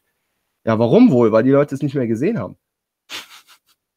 Ich meine, der, der, Witz ist halt auch, es steht oben drüber eine rechte Erzählung und unten wird beschrieben, wie der Zensurmechanismus funktioniert. Ja. So, ich, was, was soll man dazu noch dazufügen? So, das ist, Überschrift nur Leute gedacht, sich die nur mit die dem Text lesen und sich den Artikel nicht durchlesen, um sich dann man kann dahinter sagen, ja, wir haben es ja erwähnt. Ja, nee, ich glaube sogar, das ist deren verdrehtes Weltbild. So nach dem Motto, ja, oh mein Gott, diese Rechten regen sich auf, dabei werden die doch nur hier irgendwie weggelöscht, weil die doch so furchtbar schlimm sind. Was wollen die denn?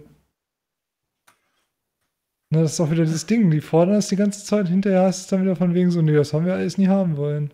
Ja.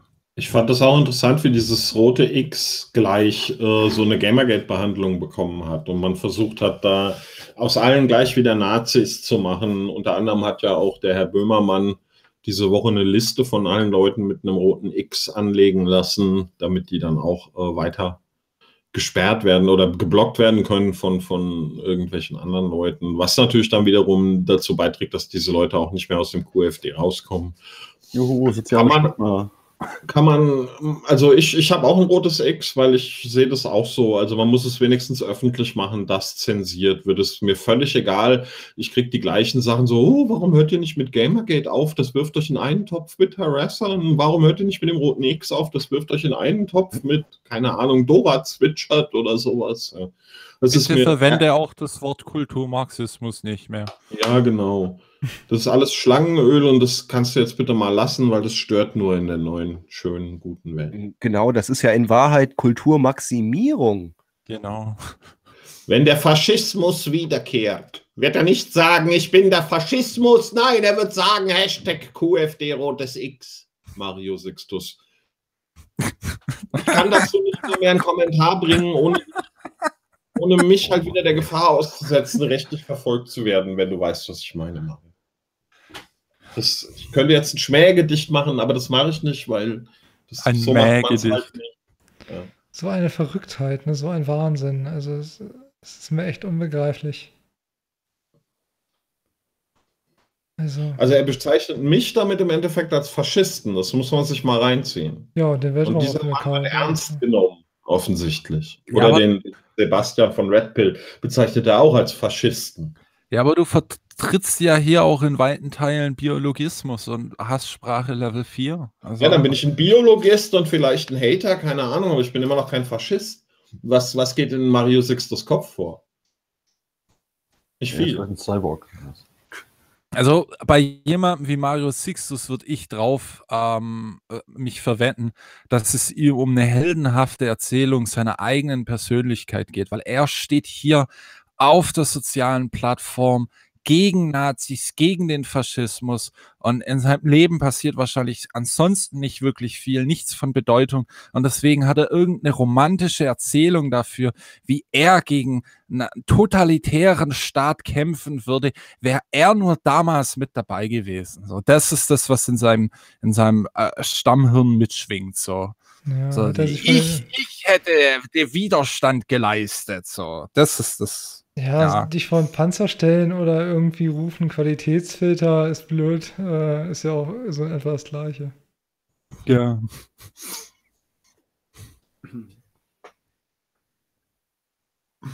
Tja, es hat sich jemand die Mühe gemacht und ähm, mal den Hashtag Twitter vom 28.06.2018 ausgewertet. Den Und Hashtag geguckt. Illner meinst du? Ja, Hashtag Ilda, Verzeihung, Genau. habe ich was anderes gesagt? Egal. Ähm? Egal. Okay.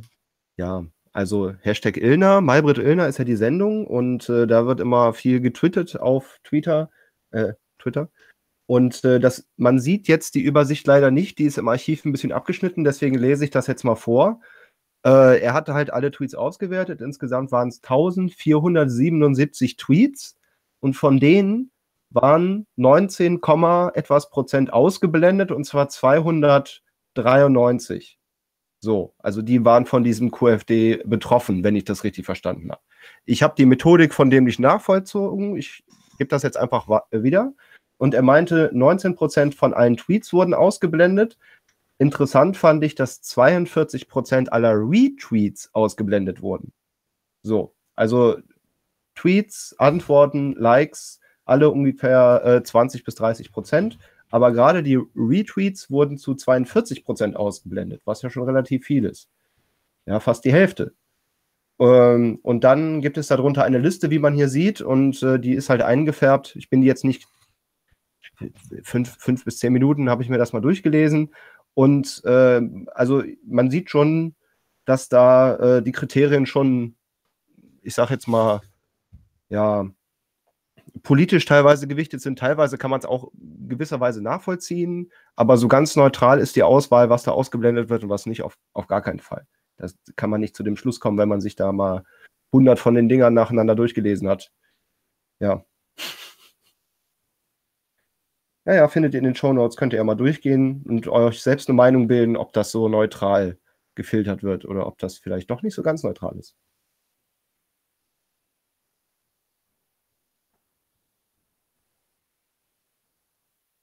In Österreich regieren die Rechten und die Künstlerinnen wehren sich. Die Autorin Stefanie Sargnagel lädt zum subversiven Treffen ins Kaffeehaus. Wohin sonst? Ja? Die äh, Frau Sargnagel erklärt uns hier, wie Österreich funktioniert. Die ist so eine Autorin. Ich habe jetzt keinen keinen Titel von ihr. Irgendwie. Ja, auf jeden Fall sehr bekannt vor, die Dame. Ich glaube, die haben wir irgendwann schon mal gehabt mit irgendwas. Ja, ja, ich glaube, oh, äh, ich versuche es mir hier gerade selber aufzurufen, aber ich muss doch auch das Archiv haben hier, genau. Weiter werde ich gefragt, wie ist die Stimmung in der Bevölkerung in Österreich unter dieser neuen Regierung? In meinen Lesungen baue ich seit einigen Monaten folgenden Witz ein. Ich habe fünf Jahre in einem Callcenter gearbeitet und ich vermisse den Kontakt zu den Menschen als Dienstleisterin durch die täglichen nervenaufreibenden Anrufe.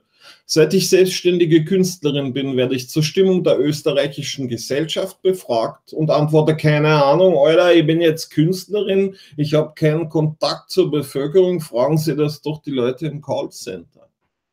Ich finde, das passt, also das fasst ganz gut zusammen, wie, äh, wie die jungen Leute funktionieren, meiner Meinung nach. Ich darf das sagen, weil ich bin ein alter Sack. Aber ich finde, also das ist diese Hohlheit, diese Selbst, dieses Selbstzentrierte. Ich bin jetzt Künstlerin, ich habe keinen Kontakt zur Bevölkerung. Okay, keine weiteren Fragen.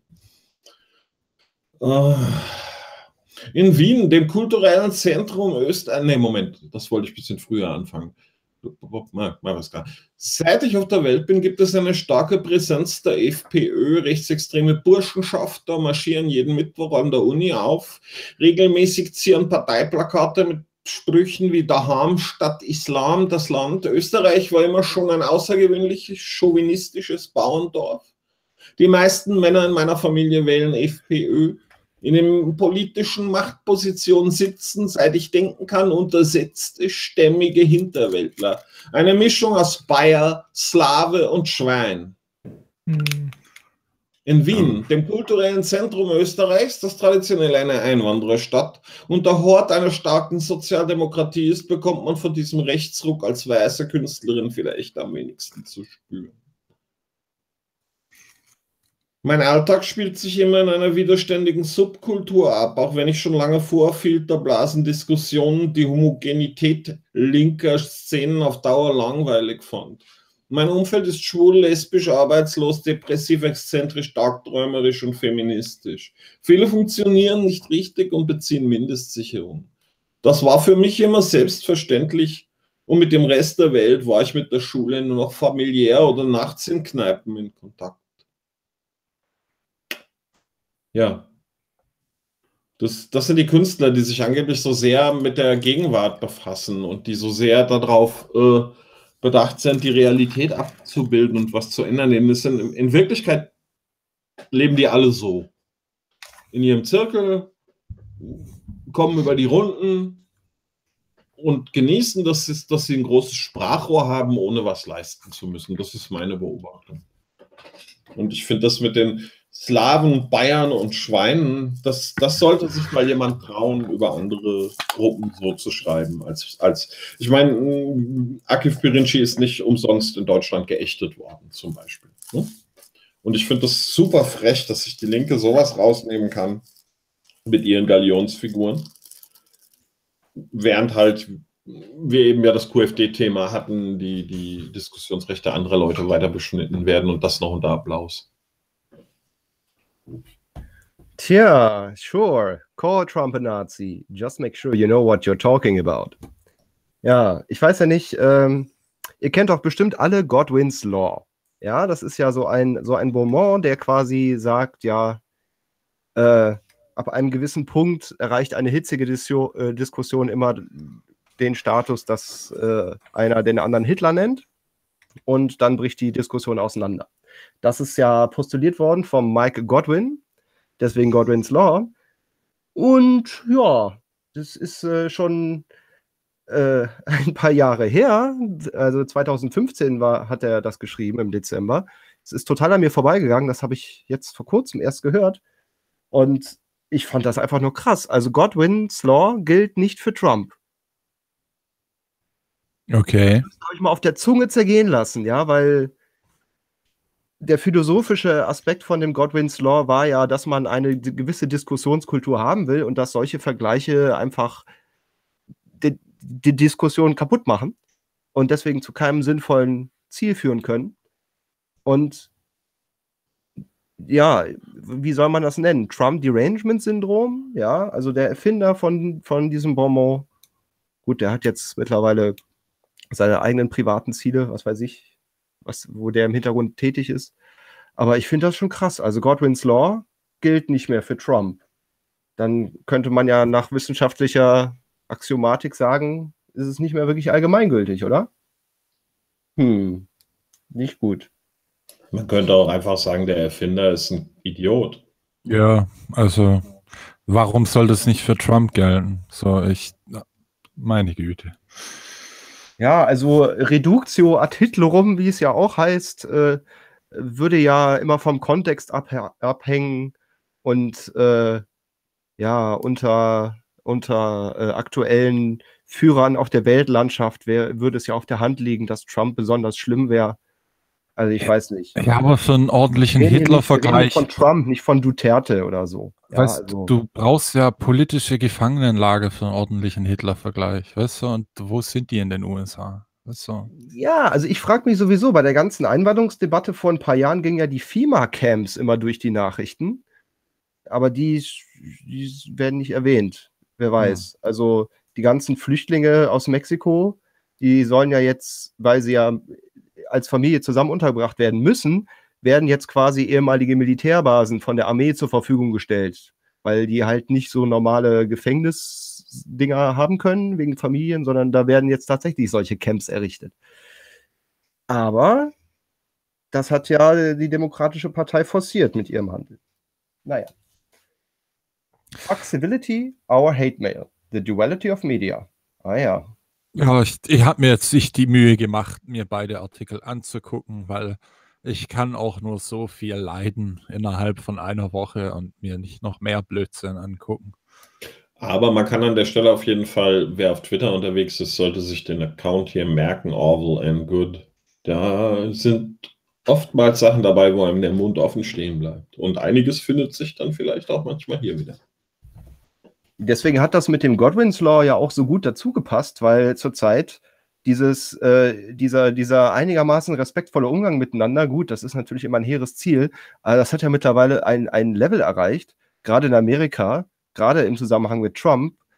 Ich kann, ich, ich sage nur Maxine Waters, eine sehr berühmte demokratische Politikerin, die offen ja. dazu aufruft, dass man halt Privatleute mit Mobs attackiert. Ja, ja. wir müssen Banden bilden mal wieder. Das, ist, das Muster Leute, das wiederholt sich irgendwie. Wenn sie im, im Restaurant sitzen, dass sie angegriffen werden sollen und so. Ja, aber die stellt sich, die stellt sich öffentlich hin und sagt, ja, nein, ihr müsst die, die benutzt selber die Worte, you have to harass them.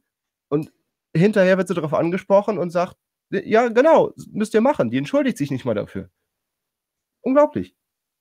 Aber äh, deswegen, äh, ich habe auch ein paar andere Headlines gesehen, die sind einfach, keine Ahnung, einfach nur noch Schimpfworte. Naja, ich fasse zusammen. Meisterhaftes Falschmeldungen. Deutschland zuerst. Wenn ich das jetzt noch mit Adjektiven dekoriere, wunderschön, sehr, sehr großartig oder fantastisch. Klingt das? Erschreckend, aber wahr. Fast wie Hashtag Trump. Julia Kritian zum Verhalten der CSU. Oje. Jetzt muss man in den, in den öffentlich-rechtlichen, aber flux und schleunig CSU und Trump miteinander in einer Assoziationskette verwursteln, weil sonst unsere Gottkanzlerin Merkel irgendwann noch vom Thron fällt. Ah, ah, das schafft die Tagesthemen so. Apropos, es ist ja auch immer noch der Streit in der Schwebe. Die letzte Schlagzeile der Tagesschau sagt Stimmung in München klar pro Seehofer. Die Sitzung zieht sich, die Sitzung der CSU-Spitze zieht sich hin. Und Söder hat gesagt, nicht wer Recht behält, ist entscheidend, sondern was richtig ist. Die Menschen würden spüren, dass Politiker aus Angst oder Überzeugung handelten und wenn ich vor der Wahl stehe, fällt die Entscheidung eindeutig. Also das hört sich für mich momentan noch ein bisschen nach Aufstand in Bayern an, aber warten wir mal den Rest des Abends ab. Ja, Rechte freut Deutschlands WM aus. Ja, das ist ein, also ich finde, das ist ein sehr perfid, es ist ein Negativbeispielartikel hier, es ist ein sehr perfide geschriebener Artikel. Aber der, der Herr Nowak ist doch auch ein alter Bekannter für sehr äh, äh, tendenziöse Artikel, oder? War da nicht was?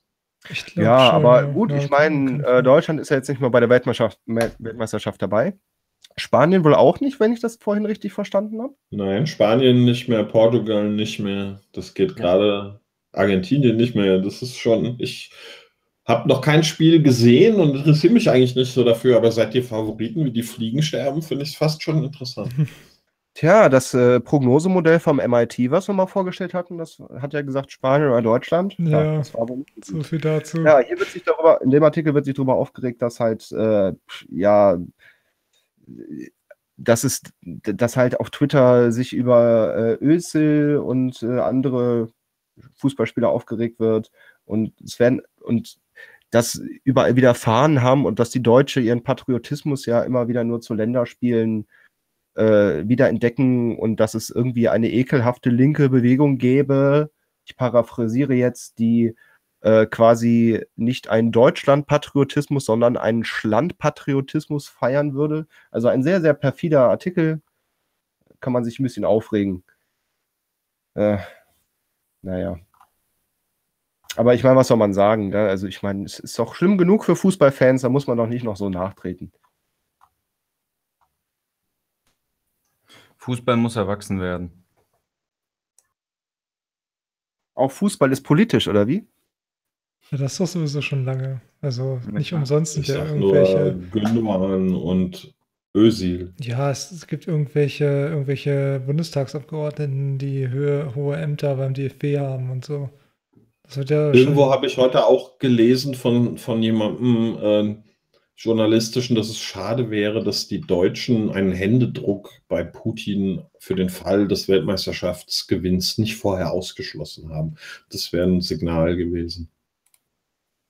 Heiderabatt. Die Antwort, äh, also die Berichterstattung, die mir am meisten gefallen hat dazu, war äh, von der BBC World Cup 2018, Defending Champions Germany, They Go House. Äh, BBC Pigeon hatten wir ja schon mal hier. Kann man sich durchlesen, ist einfach sehr lustig. Verlinke ich später auch nochmal in den Show Notes. Also ich habe es mir auf Twitter sozusagen angeguckt und die Reaktionen waren schon teilweise ziemlich gut. Am besten fand ich eigentlich wieder mal hier Darth Monchichi mit seinem, naja komm, das war doch nur die Vorrunde. ja, also mich freut es ja ehrlich gesagt so ein kleines bisschen, aber das liegt größtenteils an dieser Unsitte mit der Scheißsuperei. Also seitdem das angefangen hat, da bin ich immer ganz erleichtert, wenn Deutschland nicht allzu weit kommt. Muss ich ganz ehrlich gestehen, Aber das hat ja nicht auch mal ins Achtelfinale zu kommen, hat mich auch selber überrascht. Ja, überrascht, ja. Aber naja, ich meine, es hat sich auch schon so ein bisschen angekündigt, weil es hieß ja schon nach diesem furchtbaren Pokalfinale, dass ja angeblich die Bayern alle so demotiviert wären. Und dann halt noch das Ding mit dem Gündogan und so. Und Özil. Also, dass die da nicht mit dem Herzen so richtig dabei waren, viele Leute von denen. Das Also ich habe das Spiel selber nicht jetzt haben wir- gesehen, aber ich hab haben wir ja auch nochmal unsere Bundestrainer-Credibility hier rausgeholt. Tja. Und, Ich fand es bemerkenswert, ich habe das Spiel selber nicht gesehen, aber ich habe von vielen Leuten, die sich auch überhaupt nicht für Fußball interessieren, gehört so, ja, ey, nee, das sah irgendwie nicht richtig aus. Also das scheint irgendwas absolut schief gelaufen zu sein. Selbst wenn die selbst sagen, ja, ich habe keine Ahnung vom Fußball, aber das sah irgendwie nicht richtig aus. Was da passiert ist. Die, die Russen haben sich da eingemischt, die haben die WM gehackt. Ja, Eher so vom, vom, von der Leistungsbringung der Mannschaft her, so meinte ich das. Ja, was jetzt mit dem Waffenhandel? Äh, der äh, gute Herr, der die ähm, Internetseite hier Migrantenschreck zum Verkaufen betrieben hat und Anonymous News, der ist jetzt äh, ausgeliefert worden von Bulgarien aus. Und ja, jetzt kann er keinen Migrantenschreck mehr verkaufen.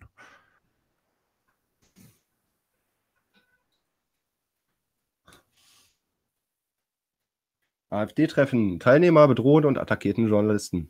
Äh, hier geht es um das äh, Kiffhäuser-Treffen, äh, was ja den rechten Flügel, also der, explizit den rechten Flügel der AfD repräsentiert. Und äh, ja, also da kann man, kann man getrost sagen, dass da, äh, wenn da Leute demonstrieren, da kann man nicht unbedingt so dagegen sein. Ich habe mir jetzt keine Reden von denen so angehört, aber ich meine, äh, ich fand das sehr bemerkenswert aus zwei Gründen. Einerseits gibt es halt ein Video, wie da die Leute attackiert werden und da kann man sich das ja ansehen, muss jeder bewerten, wie signifikant das jetzt ist. Und ich fand das seltsam, dass da so wenige Protestanten waren. Gerade bei dem Treffen des rechten Flügels von der AfD hätte ich irgendwie mit mehr Demonstrationen gerechnet. Das waren wirklich eine Handvoll. Und äh, auch beim AfD-Parteitag jetzt äh, wurde von 5000 Demonstranten gesprochen. Da hätte ich auch irgendwie mit mehr gerechnet. Ich, ich weiß gar nicht, was ich so davon halten soll. Hier, wir sind jetzt ähm, hier äh, an der Zufahrt zur Messe, da wo der AfD-Bundesparteitag stattfindet.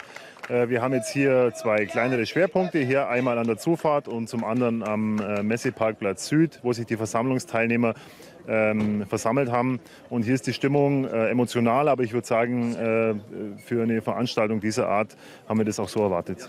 Sie haben im Vorfeld angekündigt, niedrige Einschreitschwelle. Was heißt das konkret?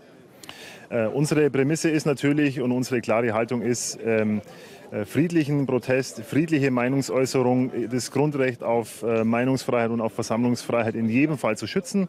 Ähm, genauso äh, ist unsere Aufgabe, den Bundesparteitag zu schützen. Wir haben da eine neutrale Rolle, wo wir eine niedrige Einschreitschwelle haben und das ist, äh, muss auch jedem klar sein, ist, wenn, äh, die Maß wenn die Aktionen keinen Versammlungscharakter mehr haben, wenn es also gewalttätig wird, ähm, dann schreiten wir mit einer niedrigen Einschreitschwelle ein, weil wir einfach auch jedem ermöglichen wollen, friedlich auch zu demonstrieren.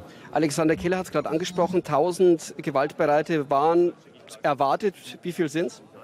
Ähm, ich denke, dass die Zahl drunter liegt. Eine genaue Zahl kann ich jetzt hier nicht sagen. Ich denke, es sind, es sind mehrere hundert, ähm, teilweise auch noch auf der Anfahrt. Ähm, wobei ich jetzt auch sagen muss, die, die Stimmung hier ist emotional. Ja, ähm, die Versammlungsteilnehmer äußern sich auch lautstark. Ähm, es war vorhin noch ein bisschen lauter, aber insgesamt würde ich sagen, äh, doch äh, relativ friedlich auch. Ganz kurz, was erwarten Sie heute noch? Also wir haben jetzt im Rahmen der Vorkontrollen, ähm, haben wir schon beim einen oder anderen auch eine Bewaffnung aufgefunden und weggenommen, Sturmhauben, äh, verschiedene Gegenstände auch, äh, die wir eigentlich bei einer friedlichen Versammlung so nicht haben wollen. Insofern ähm, sind wir gespannt, wie sich es noch entwickelt. Ähm, der, die ganzen Versammlungen und Veranstaltungen aus dem bürgerlichen Lager, da haben wir die klare Erwartung, dass das friedlich ablaufen wird. So kennen wir auch die Augsburger hier in der Friedensstadt. Ähm, allerdings äh, mussten wir auch schon unmittelbaren Zwang anwenden. Und zwar haben jetzt hier mehrere äh, Versammlungsteilnehmer versucht, vorhin als die AfD-Delegierten eingefahren sind, hier äh, Absperrungen zu übersteigen und auch unmittelbar auch auf die Autos einzuwirken. Da mussten wir eben Zwang anwenden und auch teilweise schon äh, Pfefferspray anwenden. Ansonsten ist der Ver Verlauf bis jetzt relativ friedlich. Also relativ friedlich, aber auch relativ laut hier in Augsburg vor der Messe. So, und das sieht man ja, das ist äh, am ersten Tag um 10 Uhr gewesen. Und seitdem hat sich die Lage nicht großartig verändert. Äh, ich habe gelesen, 20 Festnahmen gab es insgesamt und 5000 Leute waren insgesamt wohl irgendwie vor Ort ungefähr über die gesamte Veranstaltung. Ihr seht das ja auch im Hintergrund. Äh, gehen die Leute nicht mehr demonstrieren jetzt auf einmal? So mit so? Oder ich, ich finde, das ist das Bemerkenswerteste an der ganzen Angelegenheit. Ich meine, gut, wir haben jetzt, wir haben jetzt ja Sonntag und das findet ja noch statt und vielleicht geht heute Abend der Krawall los. Ja, ist ja meistens abends, wenn die normalen Leute nach Hause gehen, geht es ja los mit dem Vielleicht Krawall. sind die aber auch alle mit Mami und Papi in den Ferien. Wir haben Schulferien, darfst du nicht vergessen. Ja, also ich fand das einfach wirklich bemerkenswert, dass doch normalerweise der Protest etwas größer ist und gerade bei diesen zwei Veranstaltungen, die doch relativ in Anführungszeichen hochkarätig sind, nix. Oder kaum was. Ich finde es vor allem schade, dass da von diesen Kiffhäuser-Heinis wieder der Name von Barbarossa in den Schmutz gezogen wird. Man sollte echt den Rechten mal verbieten, den Namen Barbarossa für sich zu vereinnahmen. Ja, das. Ich habe ja schon was dazu gesagt. Finde ich auch nicht gut. Ja, wir bräuchten 66 Jahre, um alle Unternehmen mal durchzuprüfen. Ja, und äh, das einfach nur auch mal als Lese- bzw. auch Hörempfehlung. Ähm, es wurde ja gerade ein, äh, eine Mindestlohnerhöhung beschlossen und hier wird einfach mal das System so ein bisschen erklärt, warum es gar nicht darauf ankommt, wie hoch der Mindestlohn eigentlich ist, sondern es geht halt darum, dass man die Ausweich Ausweichmöglichkeiten halt begrenzen kann und ja, dass man halt auch irgendwie mal Kontroll zumindest auf den Niveaus Kontrollinstanzen schaffen muss, Kapazitäten vorhalten muss, um das prüfen zu können. Weil da einfach äh, die Anreize so niedrig sind, dass man das halt das schon fast in der Branche, in vielen Branchen üblich ist, den Mindestlohn immer zu umgehen. Ich meine, das ist, denke ich mal, ein offenes Geheimnis. Ja. Einfach nur mal ein interessanter Artikel dazu zur Empfehlung. Was soll man sonst dazu sagen?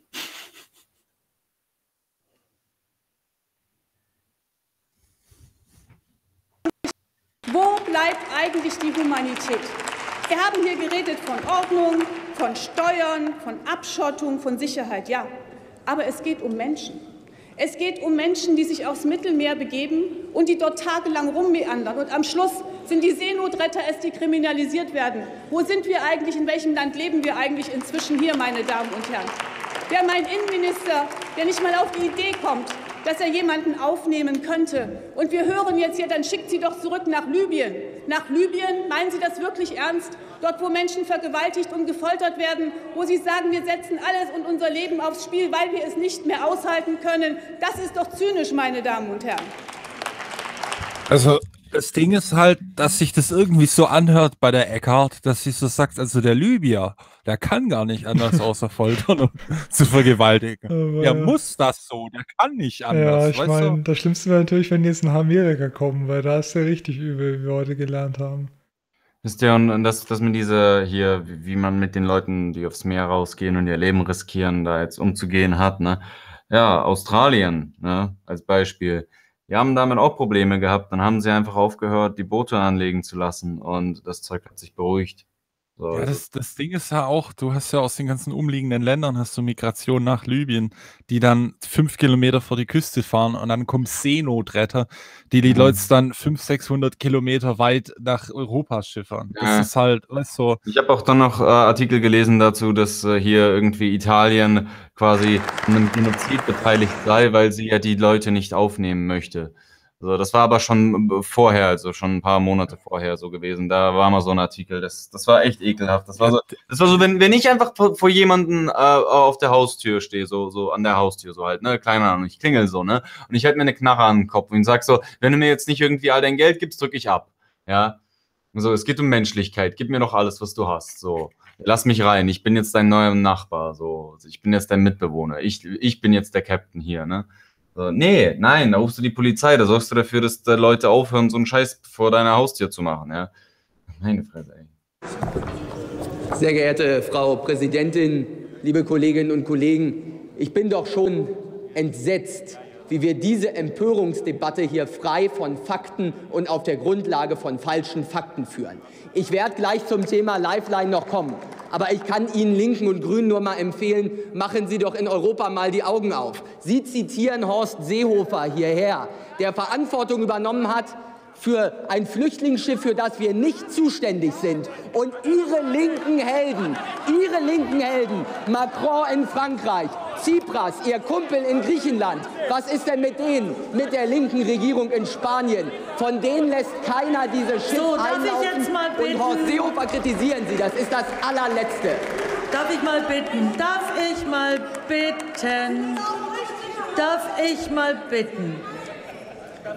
Das ist eine sehr emotionale Debatte, aber ich bitte, ich hätte auf jeden Fall gerne so viel gehört, dass wir hier oben hören, was Herr Amthor sagt. Ich bitte, jetzt ihm zuzuhören. So, meine Damen und Herren, ich erläutere Ihnen das gleich mit dem Völkerrecht noch, dann können Sie das ja noch mal applizieren darauf, wie das mit Macron und allen anderen ist. So, aber Wissen Sie, Sie haben Aktuelle Stunde beantragt zum Thema Seenotrettung im Mittelmeer. Und anstelle dieser Empörung, die ich hier von Ihnen nur höre, hätte ich mir auch mal gewünscht, dass Sie sagen, einen herzlichen Dank und Anerkennung für unsere Soldaten in der Mission Sophia, in der Mission Sea Guardian, die Leben retten und das zu Zehntausenden. Das wäre mein guter Standpunkt vorweggeschickt gewesen. Aber ich habe den Eindruck, Sie wollen abstrakt über diese Debatte gar nicht reden, sondern Ihnen geht es hier einzig und allein um die Mission Lifeline.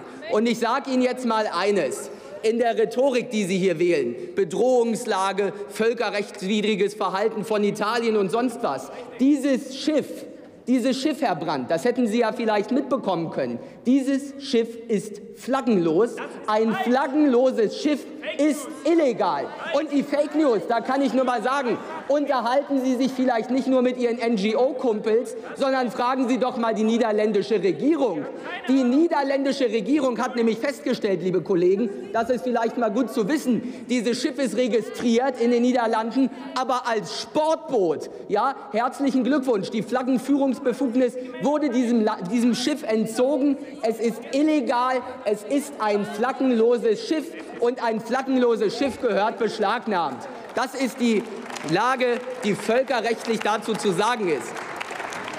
Und natürlich, natürlich ist es so, dass es im allgemeinen Völkerrecht ein Nothafenrecht gibt.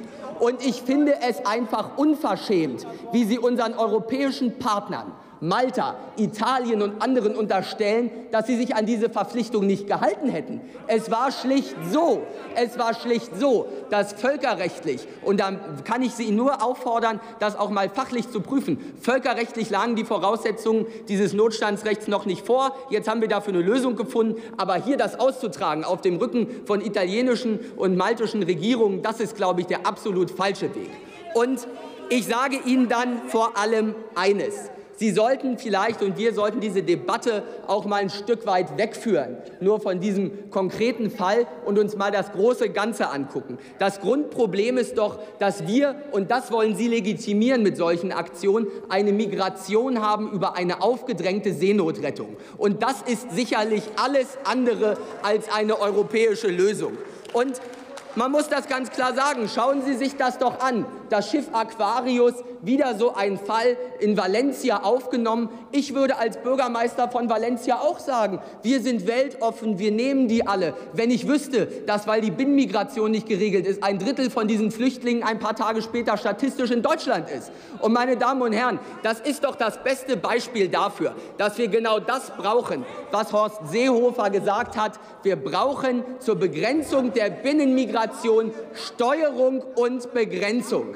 Und damit man das erreichen kann, ich will Ihnen das noch mal sagen, jeder Tote, jeder Tote auf dem Mittelmeer ist für uns einer zu viel. Und deswegen finde ich es auch schlimm, Frau Kipping, wie Sie versucht haben, hier die Toten auf dem Mittelmeer zu instrumentalisieren, um Ihre Willkommenspolitik durchzusetzen. Das ist nicht akzeptabel. Und ich sage Ihnen auch, wir müssen uns völlig klar werden, wenn es Ihnen wirklich um das Leben geht von diesen sogenannten Flüchtlingen, was im Übrigen zu klären ist, was im Übrigen zu klären ist, das ist ein Rechtsstatus.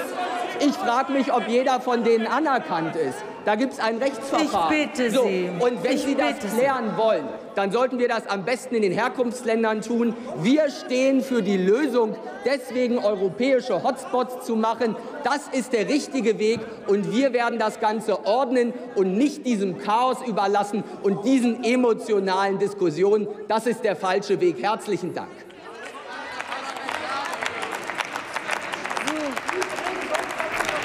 Vielen Dank, Philipp Amthor. Wir haben jetzt Eine noch zwei. Hey. Hey, hat er gerade gesagt, Emotionen sind keine Meinung? Das finde ich toll. Das finde ich gut. Die Rede war echt klasse. Also, danke dafür. Ja, das ist so, das ist fast schon alter Stil, was er macht. So, ich glaube, er hat viele, viele alte Politikvideos geguckt, um sich das. Vielleicht schaut er ja die Weltraumaffen, man nee, weiß es nicht. Das meine ich nicht, aber so. So alt nicht, klingt, noch älter. der klingt wie jemand aus den 80er, 90ern, so von der Art. Ja, Im Chat hat gerade jemand gemeint, Kindermund tut Wahrheit kund. Fand ich gut. Mhm. Ja, aber. Ich fand, das, ich fand das auch sehr interessant, wie der das erwähnt hat mit dem Flaggenrecht und solchen Sachen. Das sind halt so pikante Details. Ich habe das jetzt nicht so ganz nachvollzogen, aber äh, ich weiß nicht, ob das Dokument mit, dem, mit der Einschätzung, mit dem Seenotrecht gleich noch drankommt. Dann ja, ich das da ich, ich noch. Super.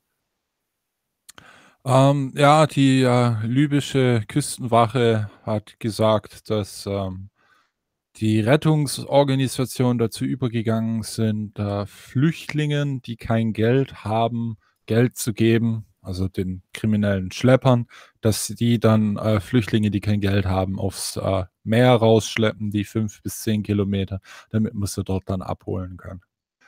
Ähm, äh, das, das ist eine neue Sache, die im Raum steht und dazu müssen halt noch äh, Beweise geliefert werden. Die sprechen davon, dass sie Bankkonten und äh, Gesprächsmetadaten haben, die das belegen, haben aber bisher noch nichts veröffentlicht. Außerdem hat Jan Böhmermann, habe ich gerade gesehen, irgendwie will jetzt Geld sammeln für diese Lifeline-Mission, damit sie sich einen Anwalt leisten können. Perfekt. Böhmi, bester Mann. Ja, und wenn ich das richtig gesehen habe, war da auch schon ordentlich Kohle drauf. Über 25.000 Euro, als ich das letzte Mal geschaut habe.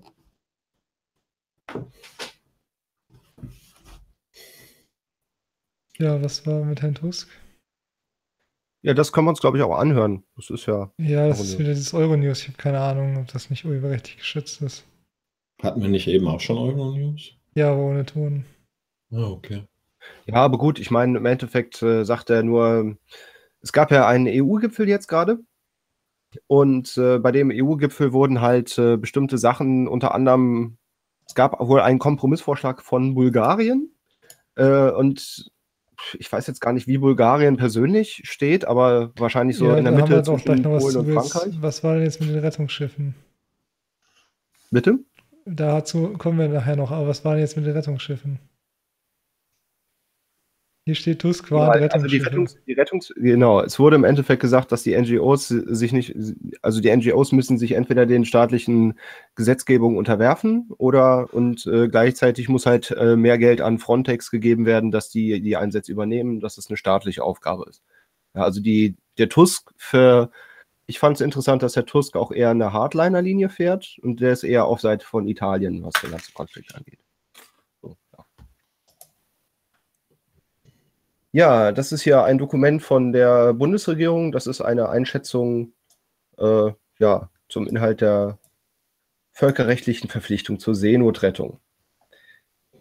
Äh, ja, unter anderem, äh, das steht in einem anderen Dokument, das habe ich gerade gesehen, aber äh, es ist egal, ob das ein normales Schiff ist oder ob das eine Sportbootlizenz ist. Ich gehe einfach davon aus, dass halt diese ganzen Schiffe, um bestimmte andere Regularien zu umgehen, sich einfach eine Sportbootlizenz geholt haben, weil auch für Sportboote gilt halt diese Seenotrettungspflicht und die können sich darauf berufen. Das ist eigentlich nur zu dieser ganzen Flaggenangelegenheit. Das fand ich interessant, dass er so einen technischen Begriff dann doch in diese hitzige Rede eingeflochten hat. Ähm, ja, und äh, des Weiteren äh, geht es ja immer darum, es wird ja immer gesagt, äh, wenn Leute gerettet werden, dann müssen sie in den nächstmöglichen Hafen verschifft werden, gebracht werden, dass das und tatsächlich ist es so, dass es rechtlich nicht so interpretiert wird. Äh, und zwar gibt es zwei unterschiedliche Möglichkeiten dazu. Zum einen, im konkreten Fall ist es jetzt ja so, dass vor der Küste in den internationalen Gewässern vor Libyen die Leute aufgefischt werden und natürlich wären die nächsten Häfen dann an der libyschen Küste. Aber es wird ja gesagt, es muss ein sicherer Hafen sein. So. Und deswegen kann das, können halt die Leute, die retten, argumentieren, das ist kein sicherer Hafen für die Leute und deswegen bringen wir die woanders hin. So, allerdings können die ha Häfen dann argumentieren, ja, aber sie sind doch an Bord von eurem Schiff, ihr habt die aufgenommen äh, und deswegen habt ihr jetzt die Verantwortung und sie sind quasi schon in Sicherheit auf eurem Schiff und deswegen müssen wir die Leute jetzt nicht annehmen. Darauf hat sich Italien ja beispielsweise berufen. Ja, dann hat Spanien angeboten, ja, komm, hier, kommt nach Valencia. Dann haben alle ihre Witze gemacht, so, ja, Moment mal, hier einmal die Linie quer, durch, quer durchs Mittelmeer. Ja, aber es ist wohl halt rechtlich tatsächlich nicht so, dass es der nächste Hafen sein muss. Es muss der nächste sichere Hafen sein und der Hafen darf sich halt verweigern mit dem Recht auf, ja, auf dem Schiff sind die Leute ja schon in Sicherheit. Ja, äh, das könnt ihr euch nochmal durchlesen. Das ist auf vier Seiten zusammengefasst. Und natürlich ist das alles nur meine Interpretation. Ja, es ist übrigens sogar so, dass nach der Genfer Konvention ähm, im Kriegsfall, wenn du jetzt quasi ein Boot versenkst, dann bist du auch verpflichtet, die Leute, die quasi in dem das überlebt haben, die musst du auch Seenot retten. Das ist nach den Genfer Konventionen so geregelt. Also, selbst wenn das deine Feinde sind, darfst du nicht einfach so ersäufen lassen.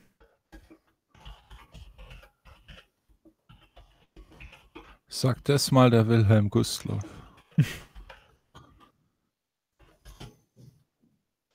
Migrationskontrolle. EU rüstet Informationssysteme auf. Ja, es gibt ja verschiedene Informationssysteme in Europa, um Leute zu registrieren, die halt in diesem äh, ja, im Schengen-Raum sind und äh, das Dublin-Verfahren. Da gibt es halt ganz viele verschiedene Systeme, die sollen einerseits vereinheitlicht werden und andererseits, äh, ja, also sagen wir es mal so, es gab schon einige Leute, die gesagt haben, so ja, ähm, wie sieht denn das aus mit Datenschutz und Bürgerrechten und weiteren Rechten? Gelten die halt für Flüchtlinge genauso wie für beispielsweise für Bundesbürger oder EU-Bürger und so weiter und so fort. Dementsprechend bietet sich halt auch für ja, für die Informationstechnologiebranche ein gewisses Fenster, gewisse Technologien, die so an der normalen Bevölkerung nicht ausprobiert werden können, an in solchen Systemen halt quasi auszuprobieren. Sage ich jetzt mal ganz böse.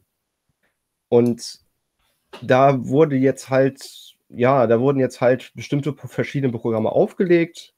Insgesamt äh, sind das mehrere hundert Millionen Euro, die jetzt halt in verschiedene Technologieprojekte fließen werden. Äh, die sogenannte Interoperabilitätslösung.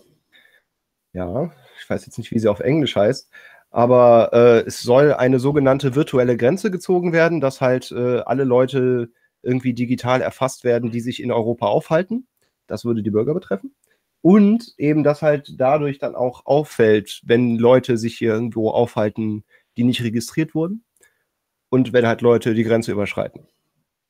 Was sehr orwellisch klingt und mit ein paar hundert Millionen wird man so ein System nicht aufbauen können, aber es werden halt die Grundlagen dafür geschaffen. Ja, ziemlich orwellisch. Das Ganze.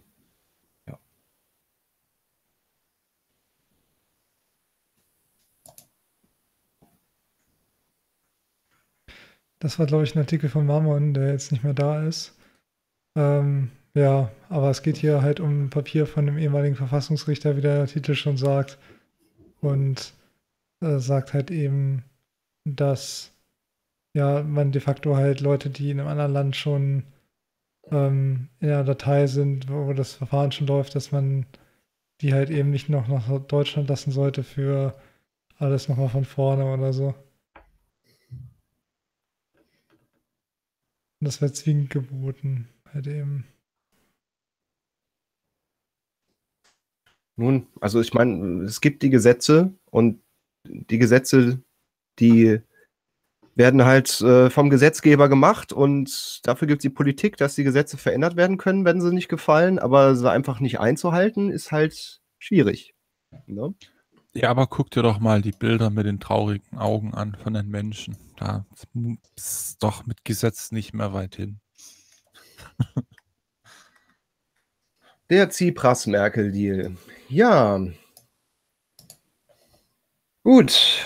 Ja, gehen wir mal zu Griechenland. Ich meine, Griechenland ist generell in einer ziemlich aussichtslosen Situation. Da hat sich auch seit der ganzen Griechenland-Rettungssache nicht großartig verändert.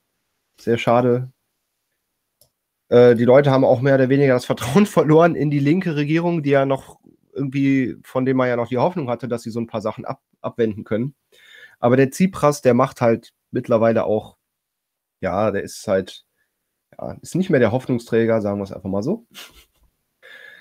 Ja, und äh, im Endeffekt werden jetzt die griechischen Auffanglager, wo die Flüchtlinge sind, das sind, glaube ich, die gleichen Lager, wo während der Finanzkrise die Wärter, weil sie nicht mehr bezahlt wurden, aufgehört haben zu arbeiten und dann sind alle Flüchtlinge aus den Lagern abgehauen.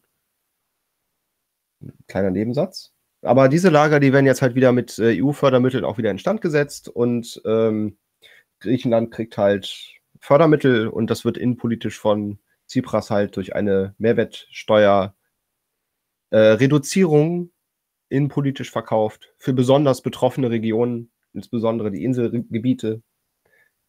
Ja, also es ist ein ziemlich, ziemliches Geschachere und ähm, ich, ich weiß einfach auch nicht, wie das funktionieren soll, weil es, es gibt ja immer noch dieses stehende Urteil, dass äh, wenn ein Flüchtling in Griechenland registriert wurde und in einem anderen europäischen Land aufgegriffen wurde, der nach dem Dublin-Verfahren nicht nach Griechenland zurücküberwiesen werden darf, weil halt Äh, ja, weil halt da mal eine Untersuchung gemacht wurde und halt festgestellt wurde, die Bedingungen sind nicht gut genug für halt Flüchtlinge, dass sie da vom Staat aufbewahrt werden können.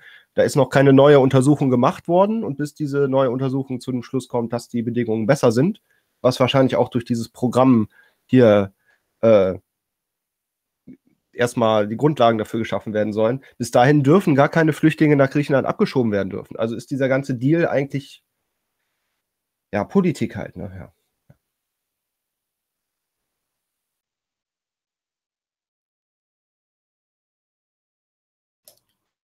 Generalsekretariat des Rates an die Delegationen Tagen des Europäischen Rates. Schlussfolgerung.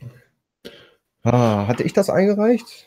Nee, ich glaube, es hat Abel eingereicht, aber ich hatte es schnell nochmal gelesen, auch vor der Sendung. Also es sind irgendwie so diese Beschlussfindungen von diesem Krisentreffen des Rates praktisch. Äh, unter anderem zur Migration. Du kannst ja mal ein bisschen runterscrollen. Das kommt, glaube ich, als erstes Thema. Aber das sind alles, also wie, wie, wie sich Merkel hinstellen kann und die Ergebnisse von dem ganzen Ding hier als Fortschritt und als irgendwie äh, ein Ersatz für nationale Alleingänge äh, darstellen kann, ist mir halt völlig schleierhaft nach der Lektüre. Also es wird erstmal natürlich gefeiert, dass die Grenzübertritte sich gegenüber dem Höhepunkt im Oktober um 95, äh, Oktober 2015 um 95 Prozent verringert haben. Auch wenn seit kurzem ein Anstieg zu bemerken ist, sind wir natürlich alle super. Der Europäische Rat ist entschlossen, diese Politik fortzusetzen und zu verstärken, um eine Wiederholung der unkontrollierten Migrationsbewegungen zu verhindern und die illegale Migration über alle bestehenden neuen Routen weiter einzudämmen. Das ist wachsweich. Da steht genau gar nichts drin. Und so geht es auch weiter, wenn du mal scrollst. Also es ist ähm, speziell im Hinblick auf die zentrale Mittelmeerroute sollten Maßnahmen, also es sind überall Wieselwörter drin in diesem ganzen Ding. Genau, das ist, das ist im Endeffekt dieser, dieser Kompromissvorschlag, den Bulgarien eingereicht hat. Das, das äh, hatte ich im Hinterkopf. Und das ist alles total wischiwaschi. Es sind ein, zwei konkrete Sachen drin. Unter anderem werden 500 Millionen Euro Einlagefazilitäten für die Türkei zur Verfügung gestellt, für mhm. zusätzliche Förderprogramme. Und ansonsten wird gesagt, so ja, äh, im Oktober wird weiteres beschlossen. Die humanitäre, freiwillige Rückkehr, Zusammenarbeit mit Herkunfts- und Trans Transitländern, freiwillige Neuansiedlung. Das sind alles so, das, das merken die eigentlich noch, dass sie im Endeffekt nur noch Füllwörter aneinander reihen oder ist ihnen das nicht klar? Also das, das ändert ja überhaupt gar nichts an der Lage, wenn ich sage, ja, wir haben hehre Absichten und ich könnte mir vorstellen, dass vielleicht auch einige da freiwillig zustimmen, eventuell. Mal gucken.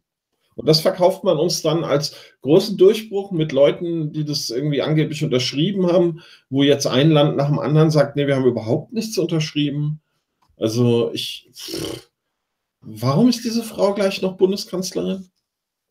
Also eine andere Sache, die hier noch angesprochen wird, ist, dass halt noch äh, weitere flexible Finanzierungsrahmen für den UNHCR und den IOM zur Verfügung gestellt werden. Das ist das Flüchtlingshilfswerk von der UN. Und ähm, ja, die, das finde ich auch noch interessant, weil der Chef von IOM sollte ja eigentlich ein Amerikaner werden, aber der ist gerade abgelehnt worden. Jetzt ist es, glaube ich, ein Portugiese geworden. Bin mir nicht ganz sicher, ob es ein Portugiese war. Aber das war so ein, ein christlich-Anglikaner und deswegen habe ich mir gedacht, fand der Christ das auch interessant, dass der abgelehnt wurde, weil der ein Anglikaner ist. Das war auch die, der Grund, warum er abgelehnt wurde. Naja. Ja, es geht dann auch noch um äh, Militärstrategien und ähnliches im Weiteren des, des, äh, des Papiers, aber eigentlich ist das mit der Migration ja das, worum es geht. Aber wie gesagt, es wird nicht besser. Also bedarf es einer Partnerschaft mit Afrika, Verantwortung, äh, ja, das, das ist jetzt Sicherheit und Verteidigung dann. Ne? Und im Oktober machen wir eine weitere Tagung und dann sprechen wir wieder darüber. Ja, ja, aber was ja auch in dem Papier steht, ist und zwar, dass halt äh, äh, Planungen verfolgt werden sollen von diesen äh, Flüchtlingszentren, die zu bauen. Ja, also dass halt diese Lösung eher verfolgt werden soll als ein dezentraler Ansatz, sage ich mal ganz vorsichtig. Manche sprechen ja von Lagern, aber ich meine, in Griechenland gibt es auch Lager und Mein Lager können halt auch unterschiedlich aussehen. Und ich fand es hier interessant, ein Interview bei äh, Deutschlandfunk, äh, ein AfDler zu diesem Kompromissvorschlag und der war relativ happy. Das Bild ist wie das Interview, der fand diesen ganzen Kompromissvorschlag eigentlich super. So, was an sich halt schon bemerkenswert ist. Ich denke mal, das sagt auch einiges über den Kompromissvorschlag aus, ohne dem Herrn hier nach, zu nahe treten zu wollen. Hat sich auch zurückhaltend ausgedrückt, finde ich. Wir müssen auch ein, zwei Ausnahmen. Naja, Die AfDler also neigen find ja diese- manchmal einfach zu diese, überzogener Rhetorik. ich finde diese Aussage, man könne Menschen etwa aus Afrika nach Europa holen, sie hier gut ausbilden und arbeiten lassen und sie dann wieder in ihre Heimat zurückschicken, ganz schön bemerkenswert für einen AfD-Politiker. Also, wie gesagt, ich, der fand das ja alles gut. Der meint so, ja, das ist ein Kompromiss, auf den wir uns einigen können. Keine Ahnung. Vielleicht habe ich das auch überlesen, Ja, was, ich worauf mich halt eben konkret auch- anspielt, jetzt wo du das sagst. Ist das nicht genau das Gleiche, was wir, was wir eigentlich schon mal hatten? Mit diesem Jahr, die Leute kommen mal kurz und lernen ein bisschen was und arbeiten ein bisschen hier. Und dann gehen sie wieder. Der beim letzten Mal auch nicht so Ich meine, das ist funktioniert. das ist ja, ich meine, der ganze Ansicht, Ansatz bei Flüchtlingen ist ja, dass die in einer Fluchtsituation sind, die theoretisch vorübergehend ist und in der Zwischenzeit muss man die ja irgendwie befähigen, irgendwas machen zu können. Ja, aber das ist ja Nee, jetzt schon ganz anderer nicht, dass man halt Leute absichtlich holt, um sie auszubilden und die Ja, arbeiten zu lassen. ja. Also ich glaube Ja, nicht, dass ihr Länder aufzubauen. Also Weißt, überleg mal, du, du verprügelst da den Feuerwehrmann und dann musst du plötzlich flüchten, weißt du? Und dann kommst du hierher, hast eine Ausbildung, kommst zurück und dann kannst du ein Unternehmen gründen. hast eine Ausbildung als Feuerwehrmann. Ja, aber nee, generell ist das ja auch kein schlechter Ansatz. Ich meine, das ist ja auch nicht, es ist ja im Endeffekt auch nicht großartig anders, wie wenn irgendwelche Leute hier nach Deutschland kommen, um zu studieren und dann wieder in ihre Länder gehen und dort arbeiten. Ja, es ist jetzt kein guter Vergleich, aber ich meine, warum nicht? Also ich finde es nicht gut, Feuerwehrleute zu verprügeln. Ja, die können auch herkommen und hier arbeiten und hier ihr Leben gestalten, aber warum sollen sie dann auch nicht wieder zurückgehen dürfen? Ich meine, die sollen sich halt frei entscheiden. Sie sollen es halt nur auf dem legalen Weg machen. Dafür gibt es die Gesetze halt. Hier, wenn, Zigarettenabsatz steigt wieder. wenn wir hier etwas weiter runter scrollen, dann sehen wir, wie viele Zigaretten in Milliarden Stück in Deutschland geraucht werden. Und zwar sehen wir hier, dass es äh, stetig zurückgeht. Ja, es ist 2015 ein bisschen wieder hochgegangen, so, aber an sich hat man einen klaren Trend, den man erkennen kann, so dass es nach unten geht mit dem Rauchen an sich. Und dann im Artikel drauf äh, fordert die, die Drogenbeauftragte, dass es jetzt ein Totalverkaufs-, äh, äh, Erwerbeverbot für, für Zigaretten geben soll. Und ich finde es immer ganz lustig, dass oftmals ist es so, wenn neue Gesetze durchgeboxt werden, dass sich bereits ein Trend in der Gesellschaft abzeichnet, der dann von einem Gesetz nochmal untermauert wird, der wahrscheinlich aber, also das Gesetz wird dann aber am Ende wahrscheinlich eh nicht wirklich gebraucht werden. Das ist ähnlich wie mit der EU, wo sie sich toll be befeiert haben, dass sie die Mobilfunkpreise im Ausland ähm, jetzt vereinheitlicht haben und man schon vorher äh, an, an Trend in die Richtung feststellen konnte, dass sich so in der Gesellschaft ereignet hat. Und genauso haben wir es hier. Zigarettenabsatz geht runter und runter. Und jetzt fordert man ein komplettes Werbeverbot, auch von Vaping-Equipment. Ich denke mir so, ja, super. Dann könnt ihr euch danach hinstellen, gesellschaftlichen Trend, der sowieso vorliegt, als großen Erfolg verkaufen. Und so tun, als hättet ihr irgendwas erreicht. Ja. Zigaretten sind ein guter Steuereinnahmequelle. Ne? Steueranteil ist, ich weiß nicht, ist das weiße der Steueranteil? Ja. Ja, ne? von, von dieser Grafik. Und ich muss auch sagen, ich kann die Grafik wegen ihrer Farbgebung nicht ernst nehmen. Ja, also Ja, ist gut, Sally. neutral genug. Aber das mit der Steuer, ja, das ist ja, das ist ja so ein Ding, da können wir uns auf jeden Fall gut drüber streiten, ob das nicht in anderen Fällen dann wieder so viel Kosten produziert, sich das alles wieder negiert oder so. Aber das lässt sich halt schwer feststellen. Da gab es mal eine große niederländische Untersuchung dazu, dass Rauchen ähm, negativ ist im Endeffekt für den Steuerzahler und aber dass Fettleibigkeit net positiv hat, dadurch, dass man weniger Rentenbezüge bekommt. Aber die müsste ich rauskramen, die Studie. Deutschland schwimmt im Geld und verschläft seine Zukunft. In dem Artikel wird aufgeführt, wie viele Staatsschulden wir haben, wie gut da wir dabei sind, diese abzubauen. Wenn du etwas runterscrollst, sehen wir eine hübsche Grafik. Und man ähm, zeigt gleichzeitig auf, dass wir halt an vielen Ecken und Enden in Sachen Infrastruktur nichts machen. Internet ist gammelig langsam in Deutschland und allgemein herrscht überall bei Infrastruktur so ein bisschen Investitionsstau. Und ähm, zwar ist es klug, hier Staatsschulden abzubauen, weil wir ja auch äh, demografischen Wandel haben und ähm, das in der Zukunft äh, relativ gut sein wird, wenn wir weniger Staatsschulden haben. Allerdings ähm, kann man sich halt auch seine eigene Zukunft verbauen, wenn man nicht mehr in Infrastruktur investiert. Gerade als so ein Hochtechnologieland wie Deutschland, was äh, ja davon ja eigentlich lebt. Also man sägt dann auf dem Ast, auf dem man sitzt.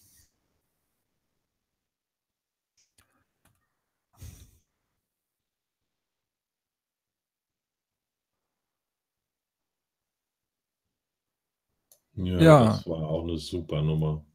Ja, da haben sie äh, Greenpeace in Berlin einen Haufen Farbe ausgebracht, der aber halt, also die Farbe darf laut dem Sicherheitsdatenblatt nicht in die Gewässer gelangen und jetzt wird ermittelt gegenüber Greenpeace, weil die mit der, also mit der Aktion wollten sie auf den Klimawandel aufmerksam machen und ähm, ja, das ist nach hinten losgegangen. Es sollte eine gelbe Sonne werden, die Ja. von der, von der Siegessäule ausstrahlt. Ähm, das mit dem Gewässerschutz ist insofern halt interessant, dass die Drainage von dem Gebiet hier halt direkt in die Spree geht, ohne irgendwie Aufbereitung oder ähnliches. Außerdem ist mindestens eine Person gestürzt. Es gab leichte Blechschäden. Leute haben sich äh, Klamotten, Fahrräder, Autos, was auch immer versaut. Ja. Haben die da nicht auch mal irgendwo in Argentinien oder in Mexiko, wo, so von, von, von frühen Menschen so riesige Figuren in die Wüste gezeichnet worden sind, haben die da nicht auch mal eine Message daneben geschrieben, wo es dann auch einen riesen Eklat gab, dass sie halt diese antike Städte halt äh, äh, viele Spuren hinterlassen haben und die beschädigt haben. Ja. Greenpeace halt. Ökomarxisten. Oh ja, du hast recht, die haben die Nazca-Linien beschädigt. Genau. Also in, in äh, Peru. Peru war's.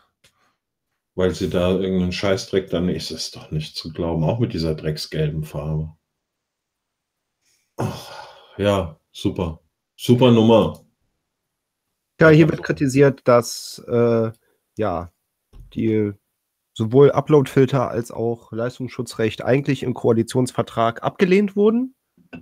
In Anführungszeichen auf Anraten der SPD, ja, wie auch immer, äh, das zustande gekommen ist. Und äh, jetzt wird hier halt kritisiert, dass äh, alle Unionspolitiker sich darüber hinwegsetzen würden und äh, dass ganz im Gegenteil sogar äh, manche Unionspolitiker über Ländergrenzen hinweg mit anderen sich koordinieren würden, um halt diese Dinger durchzubringen. Es wurde ja vorher auch schon von der Julia Reda, von der einen Europaabgeordneten, kritisiert, dass von Deutschland sehr starke Druck ausgeübt wurde auf verschiedene Abgeordnete, dem zuzustimmen. Und das geht halt nochmal darum. Und äh, gut, dass der Horst Seehofer halt mehr Befugnisse will, insbesondere für die Polizei, das hatten wir auch schon mal als Thema.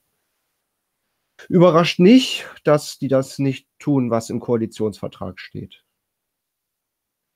Ja.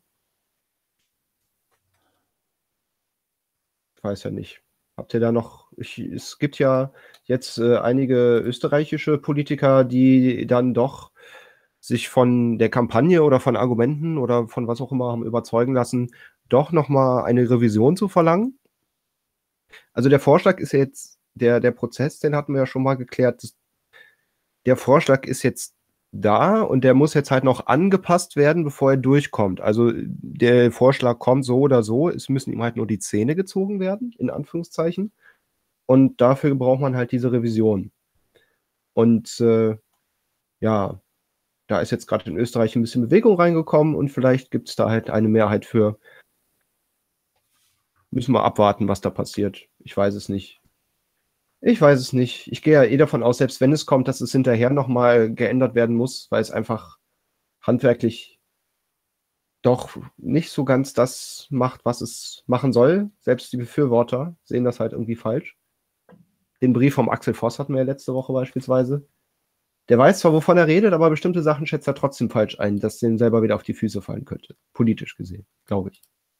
Aber mal gucken. Vielleicht lohnt sich was. Und wenn ihr Engagement zeigen wollt dagegen, dann könnt ihr ja auch nochmal versuchen, Europaabgeordneten zu schreiben. Ne? Die Liste findet ihr hier im Dokument nochmal verlinkt. Und ja, tut, was ihr für richtig haltet.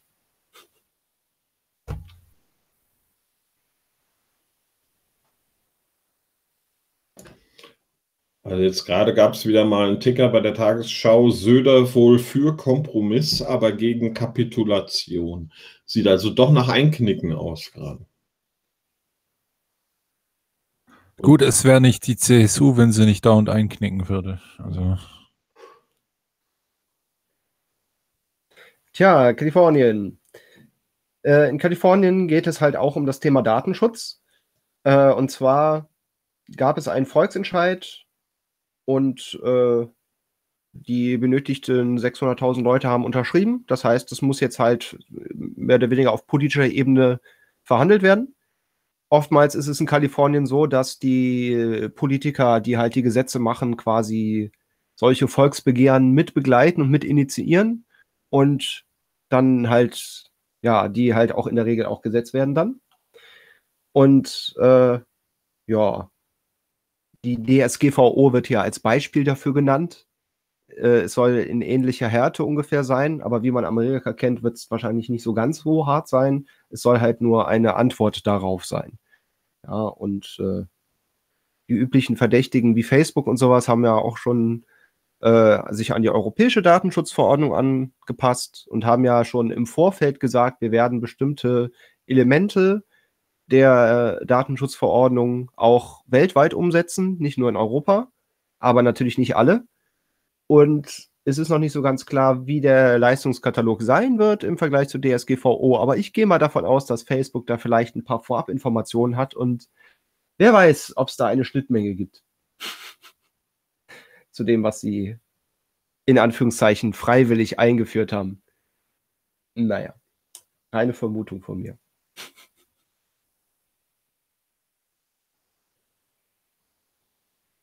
Ja, und auf die DSGVO folgt die EPVO, das ist die E-Privacy-Verordnung. Und ja, das nur mal als kleiner, ja, als kleiner Blick in die Zukunft. Es geht, geht halt das Gleiche, was wir mit der DSGVO hatten, wird nochmal kommen. Nicht mehr in der Form, weil halt äh, die meisten, das, das Schlimmste an der DSGVO war ja, dass viele Bereiche sich an diese Vorschrift halten mussten, die es vorher nicht mussten. Und die E-Privacy-Verordnung wird die Vorschriften einfach nur noch mal ein bisschen, bisschen strenger schnallen. Aber es geht immer weiter. Ja. Juhu. Weiter, immer weiter. Wir hören niemals auf. Genau. Vorwärts immer, rückwärts nimmer. Ja, soweit ich das verstanden habe, Sozialismus in seinem Lauf fällt weder Ochs ja. noch Esel Also, soweit ich das verstanden habe, geht es bei diesem Ding jetzt um irgendwelche Tracking-Geschichten und Cookies und so ein Kram. Was ich aber auch super interessant finde, ist, warum bietet Telepolis Bio-Espresso zum 200. Jahrestag von Karl Marx an? Erst ja. Telepolis, das, das, das, das schon, die sind so. Das fällt dir jetzt erst auf. Also ich habe das schon in den letzten Wochen zigmal da gelesen und mich schon gefragt, warum Echt? keiner was dazu sagt. Weil das ist eigentlich immer einge eingeblendet. Wir waren noch von der Handpuppe völlig derangiert, wahrscheinlich. Von der Marx Handpuppe von vor ein paar Folgen.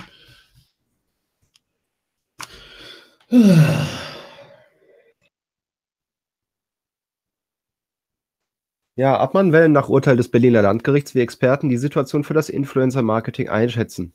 Ja, äh, also das, also hier geht es im Endeffekt um Leute, die halt Werbung einblenden und äh, es geht im Endeffekt um zwei Maximalszenarien. Das eine ist, äh, du hast, du blende, du, du machst halt Schleichwerbung, ja, du trägst zum Beispiel einen Pulli mit Puma drauf oder was, was auch immer, Hirschquelle, ja, und wirst im Hintergrund von denen dafür bezahlt, dass du das trägst und sagst es aber nicht, blendest nicht ein, hier, ich mache hier gerade Werbung für Hirschquelle. Ja, äh, das andere Extrem ist, du äh, trägst einen Hirschquelle-Pulli und dann sieht Hirschquelle das und sagt, hier, aber mit denen wollen wir nichts zu tun haben. Ja, und die sind jetzt mit uns assoziiert und deswegen verklagen wir euch jetzt halt, weil wir nicht mit euch assoziiert sein sollen. Das ist so quasi das Spannungsfeld, in dem diese Thematik hier passiert, weil halt äh, verschiedene Models äh, halt und andere YouTuber und Instagram-Leute halt ja Produkte in die Kamera halten oder halt einfach nur Klamotten anhaben, wo Logos drauf sind oder halt ja so Affiliate-Links unter ihren Dingern haben oder, oder sowas. Ja, und das wird halt, es ist halt die Frage, was als Werbung deklariert werden muss und was nicht. Äh, und die, die Umgehungsmöglichkeit, einfach alles als Werbung zu deklarieren, geht aus den Gründen, die ich vorhin als zweites Szenario genannt habe, nicht. Ja. Das ist die Problematik, wenn man halt Geld verdient mit der Online-Tätigkeit. Ich weiß nicht, was ist denn eure Meinung dazu? Wir monetarisieren ja nichts und unsere Sponsoren weisen wir auch immer aus, die nicht existierenden. Das ist die Peking-Moskau-Achse, die uns finanziert. Mao und LMV sind unsere Verbindungsorientiere. Ja. Ah, nee, aber ich weiß gar nicht, ob uns, könnte uns das betreffen, obwohl wir nicht monetarisieren? Also könnte Hirschquelle zum Beispiel sagen, die Affen sagen immer Hirschquelle und wir wollen das nicht und verklagen die jetzt? Darauf warte ich noch da müssen sie, da müssen sie äh, uns erstmal darauf hinweisen und erst wenn wir danach das machen würden, hätte es Konsequenzen. Also je, selbst wenn. Aber trinke ich sie doch nur wegen dem guten Uran. Ja. Ja, das ist ja, ne, den Artikel haben wir ja schon mehrmals verlinkt. Wir geben ja nur die Nachrichten wieder. Und wir, sind, wir gehen ja trotzdem immer noch in den Wald und finden es gut. Ach. Geplündertes Griechenland. Ach was. Ja, bis 2060 ähm, ist, also ist finanziell gesehen für die Griechen die Faktenlage so, dass der Staat äh, äh, ein Plus erwirtschaften muss, damit er von seinem, ja, von seinem Schuldenberg runterkommt, was halt rein rechnerisch etwas utopisch aussieht, weil deutsche Regierung möchte vehement äh, das Wort Schuldenschnitt äh, ver verhindern. Und ähm, man geht davon aus, dass letztes Jahr 55.000 Menschen an Folgen von unbehandelten Krankheiten gestorben sind, die wegen halt Ausfall von Krankenversicherung und das nicht mehr leisten können von Medikamenten zustande gekommen sind. Und generell ist die Jugendarbeitslosigkeit sehr hoch und sehr viele Griechen haben das Land schon verlassen und an sich will man jetzt die Finanzkrise als überwunden erklären, aber irgendwie kommt es noch nicht so ganz bei den Griechen selber an. An sich war es ja auch nur eine Grieche von großteils deutschen und französischen Banken, die halt 2010, dann zwei Jahre nach der Subprime-Crisis, nicht schon wieder ins Wanken hätten kommen sollen und man hat deswegen Griechenland geholfen. Also bei denen ist ja nichts angekommen. Und ja, der Artikel geht da ein bisschen drauf ein. Ja. Ja, ist wirklich eigentlich auch eine Schande. Also äh, diese tolle Nummer mit Griechenland ist jetzt gerettet und Tsipras zieht den Schlips an, bedeutet im Endeffekt, dass sie davon ausgehen, dass Griechenland, ich weiß nicht mehr für wie viele Jahre die das, ich glaube, könnte sein, dass das die 20, bis 2060 auch einen ausgeglichenen Haushalt fährt. Ne? Das ja. heißt, es darf kein Cent mehr investiert werden, als reingekommen ist und da ist Schuldendienst noch gar nicht abgezogen. Also man verhindert auch, dass Griechenland durch Investitionen wieder auf die Füße kommen könnte. Nun, das, was ich vorhin erwähnt hatte, auch mit, dem, äh, mit der Mehrwertsteuerreduzierung für die Krisengebiete, die Zypras jetzt quasi als Geschenk seinem Volk verkauft, diese Steuern sind im Zuge der Krise erst eingeführt worden. Ja, und man muss sich halt auch vergegenwärtigen, dass so die Verdienste bei 500, 600 Euro liegen für eine Vollzeitstelle und man aber bei den Lebensmittelpreisen unsere an, ansetzen kann. Ne? Also das, das muss man einfach auch mal, wenn, wenn von Armut in Griechenland die Rede ist, und da, da ist das, ne, weiß nicht, wie das da mit Tafeln ist, aber ich wette, es gibt auch schon solche Organisationen, ich sag dir, die wir haben mehr zu tun als bei uns. Zombie knives causing rising and stabbing deaths in UK. Ja, Zombie Knives. Das Thema, das habe ich schon öfters mal äh, durch die Nachrichten spuken sehen. Aber jetzt gibt es endlich mal einen Politiker, der das Ding auch wirklich in die Kamera hält. Allein das Bild sagt, glaube ich, ziemlich viel aus. Es gibt im Moment halt in, in England ein Problem mit Messern. Und ich meine nicht, dass die Polizei halt Leute untersucht und wenn die ein Buttermesser dabei haben, das halt schon auf Twitter postet, hey, wir kämpfen gegen die Kriminalität, was sehr seltsam ist, wer das mitbekommen hat. Also, na, naja. Aber es gibt halt wirklich Leute, die mit solchen Dingern durch die Gegend laufen und sich gegenseitig mit solchen Dingern angreifen. Und da ist natürlich das große Problem, wenn, wenn du mit so einem Ding angegriffen wirst, dann ist das nicht mehr so eine typische Messerwunde, wie es halt vor ein paar Jahren noch war, wie die Polizei hier in dem Artikel beispielsweise sagt, sondern ja, da ist halt die Wiederbelebung und die medizinischen Operationen und alles etwas komplizierter. Und äh, ganz nebenbei, dass es halt auch sehr brutal und grausam ist und äh, ja, da wollte ich nur mal darauf hinweisen, dass das halt. Da fragt man sich doch als erstes, warum wird so ein Dreck überhaupt verkauft? Wo kommt das her? Ja, also die haben schon versucht, diesen, diesen, diesen Verkauf davon einzuschränken. Ja, äh, und ja, das, naja, was soll man sagen? Also, dass halt, dass halt sehr viele Messerangriffe in England und insbesondere in London sind, das ist ja durch die Nachrichten immer wieder gegangen. Aber was halt das Besondere daran ist, dass halt sehr viele von denen halt mit Macheten oder mit solchen Dingern begangen werden und nicht nur mit normalen Messern und deswegen halt die Verwundungen viel signifikanter sind und halt auch mehr Leute da dann auch sterben. Ja, und wie gesagt, es halt länger und das Bild spricht, glaube ich, für sich. Francis Macron brings back National Service. Ja, Emmanuel Macron äh, wird im Endeffekt den einen Zivildienst nach deutschem Vorbild einführen, sage ich jetzt mal. Ja, also es ist nicht so explizit ausgedrückt, aber Macron hat ja schon gesagt, dass er, äh, dass er die französische Wirtschaft der deutschen Wirtschaft anpassen will. Und äh, unter anderem halt äh, durchs Bildung, im Bildungssektor und im Ausbildungssektor, dass er halt sowas wie die duale Berufsausbildung in Frankreich einführen will. Und er möchte jetzt halt äh, einen Zivildienst einführen. Ursprünglich wollte er, dass alle Franzosen ein Jahr Militärdienst machen, weil er ist ja ein Hardliner. Ja, ja. Aber im Endeffekt führt er jetzt einen Zivildienst ein, dass jeder ein Jahr Zivildienst machen muss und danach, äh, glaube ich, ein Jahr oder ein paar Monate zum Militär oder die gleiche Zeit halt weiter im Zivildienst. Finde ich interessant. Ja, der Macron, ne, der Humanist, der Wohltäter, die engelsgleiche Gestalt der europäischen Politik. So wurde, so wurde der Macron ganz unironisch in heute Nachrichten gesagt. Ja, der, die engelsgleiche Gestalt der europäischen Politik. Das müsst ihr euch mal vorstellen.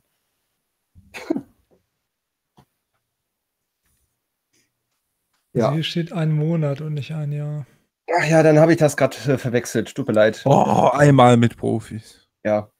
Ich habe es ich gerade auch nur aus dem Gedächtnis rezitiert. Ich hatte noch einen anderen Artikel auch im Hinterkopf, wo es halt um das Ausbildungssystem ging. Dann habe ich das wahrscheinlich damit durcheinander gewirbelt. Den ähm, habe ich aber nicht eingereicht, weil es ja so viele Links waren.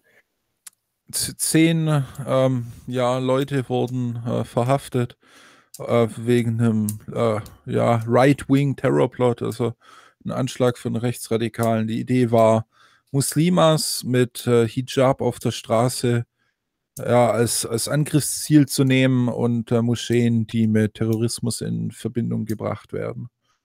Und die Leute wurden jetzt verhaftet. Die hatten auch eine Internetseite und die haben Videos hochgeladen, wie sie ähm, selbstgemachte Handgranaten zur Explosion bringen und hatten ja, einen Haufen also, Waffen zu Hause. Das ist auf jeden Fall eine der dümmsten Ideen, die ich in meinem ganzen Leben gehört habe. Also, wenn die das echt machen würden, vor allen Dingen mit den, mit den Kopftuch-Heinis, ähm, ja. das wäre eine Steilvorlage für jeden der immer meint, irgendwie von wegen bla bla bla, Islamophobie und ein Wort führt zu Gewalt und dieses ganze Zeug. Weil wenn, ja. die, wenn die echt so ein Beispiel hätten von irgendwelchen Rechten, die sich, die da schon meinen, dass das irgendwie Gewalt rechtfertigt, wenn die Leute sich Kopftuch aufsetzen, was ich auch vollkommen plemplem finde. Aber wenn die echt meinen, dass das schon reicht für Gewalt, also dann da ist auf ja. jeden Fall eine Grenze dann überschritten. Du kannst halt auch nicht einfach random Kopftuchträgerin als Ziel nehmen. Das ist halt auch behindert Fall, ja. einfach. Also, Ja, Junge, was das vor allen Dingen halt für eine Vorlage wäre für, für die ganzen Aktivisten, die geiern da nur drauf. So was, das Beste, was gewissen Leuten passieren könnte. Von der radikalen Linken jetzt. mh, Also das Opferfest, das, äh, das wäre groß. Also.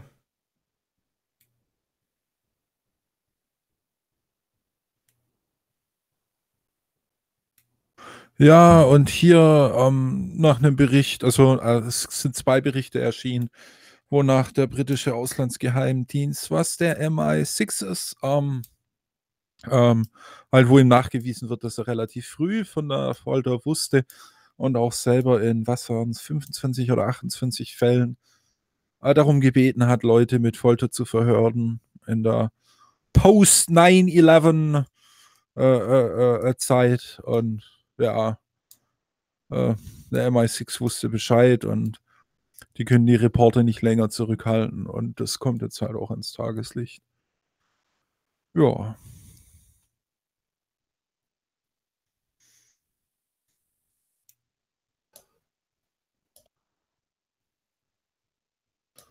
Und die Washington Post hat ähm, einen Artikel von unbekannten Quellen über Spekulationen von einem Truppenrückzug von den USA aus Deutschland ähm, veröffentlicht und das Außenministerium hat es dementiert. Bald ist der NATO-Gipfel in, in, in, wo war es, in Brüssel. Und ja, das könnte man Fake News nennen, wenn es dann nachher nicht wahr ist. Also man hat halt aus unbekannten Quellen Gerüchte irgendwie gestreut. Deutschland war dann aber schon. auch so ein bisschen Captain Hindsight, weil der Großteil der Amis ist doch schon Ende der 90er und durch die 90er hindurch ja abgezogen. Also jetzt, äh, Ja, jetzt die paar, die noch da sind, sind jetzt auch nicht mehr der große, der große äh, Faktor, finde ich. Ja, wobei ja zum Teil schon auch ähm, äh, Aktionen jetzt im Jemen und auch in Afghanistan, die werden ja über Deutschland versorgt. Also so logistisch, logistisch äh, mäßig ist, ist das schon wichtig. Also für das äh, Imperium der USA. Hey Leute, ich äh, werde mich gleich mal ausklinken. Ich wollte nur ganz kurz, bevor ich gehe, noch Chris drum bitten, mal auf latimes.com zu gehen. Ja? Falls ihr nicht wisst, was da, wa warum, ja, dann, dann seht ihr das. Okay, einfach auf Ja, geht es jetzt latimes.com. darum, dass sie gesperrt ist wegen dem, wegen dem Genau, DSGVO-Ding? Ja, da haben wir schon zigmal drüber geredet. Danke, Opex. Habt ihr schon. Okay, gut, ja, habe ich nicht mitbekommen. Gut, okay, super. Dann äh, ist ja jetzt hier mit Profis, also kann ich auch gehen. Ciao, Leben. Alter. Schönen Tschüssi, Abend Leute. trotzdem. Tschüss. Danke euch auch. Tschüss, Chat. Tschüss. Tschüss. Australien verabschiedet Gesetze gegen ausländische Einmischung und Beeinflussung. Ja, äh, letzte Woche schon mal kurz Australien angesprochen und hier geht es tatsächlich auch um China wieder, weil äh, ja, ich habe es ja schon gesagt, äh, Australien sieht sich halt durch China eingekesselt und da die Politik hat da jetzt ziemlich harsche Anti-Spionagegesetze erlassen, die teilweise auf sehr viel Widerstand gestoßen haben, vor allem natürlich von chinesischen Diplomaten, weil die sich verdächtigt fühlen. naja, es wird halt äh, im Vergleich zu äh, The Red Scare, McCarthy und sowas gezogen, was ich schon für überzogen halte. McCarthy Ja. did nothing wrong. Not all heroes wear capes. Ja, hier, äh, ich lese mal kurz vor als Beispiel für eine fahrlässige Einmischung, das weit äh, herbeigeholt zu sein scheint, wird äh, aufgeführt, dass eine Person verdeckt für eine ausländische Regierung handelt, um Proteste in Australien im Hinblick auf eine humanitäre Krise in einem anderen Land zu verhindern. So, und also es ist teilweise ein bisschen obskur. Es geht natürlich auch darum, dass man kein Geld von ausländischen Regierungen annehmen darf, dass man nicht aus, auf äh, Konferenzen im Ausland von Regierungen sein darf. Aber ausländische Stiftungen dürfen äh, weiterhin äh, Projekte finanzieren. Den Chris wird es auch freuen zu hören, dass der Vatikan auch weiterhin alles finanzieren darf in Australien. Der hat auch eine Ausnahmeregelung bekommen.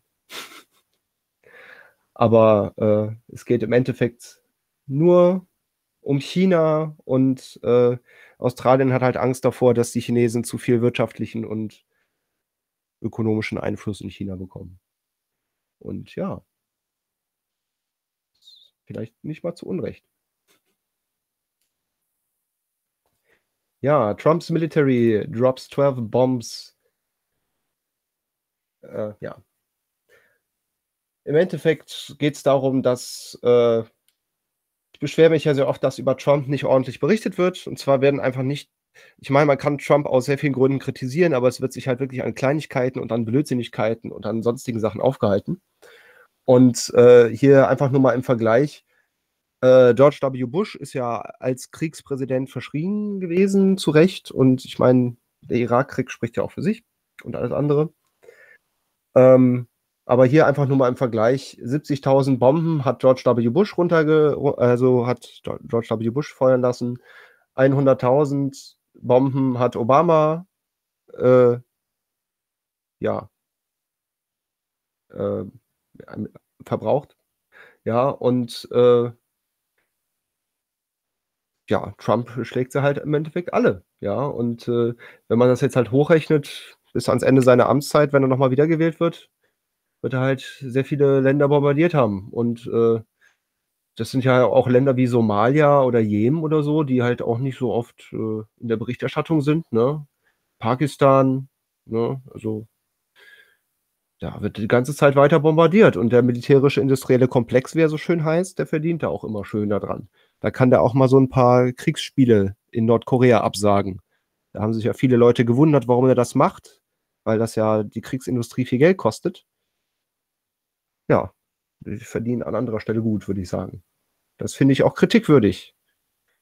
Ja, weil nicht nur unter dem finanziellen Aspekt, sondern natürlich auch, weil Leute äh, darunter leiden. Das ist klar. Aber nee, irgendwie, der twittert mal wieder irgendeinen Scheiß, ne? Das ist, darüber muss man berichten.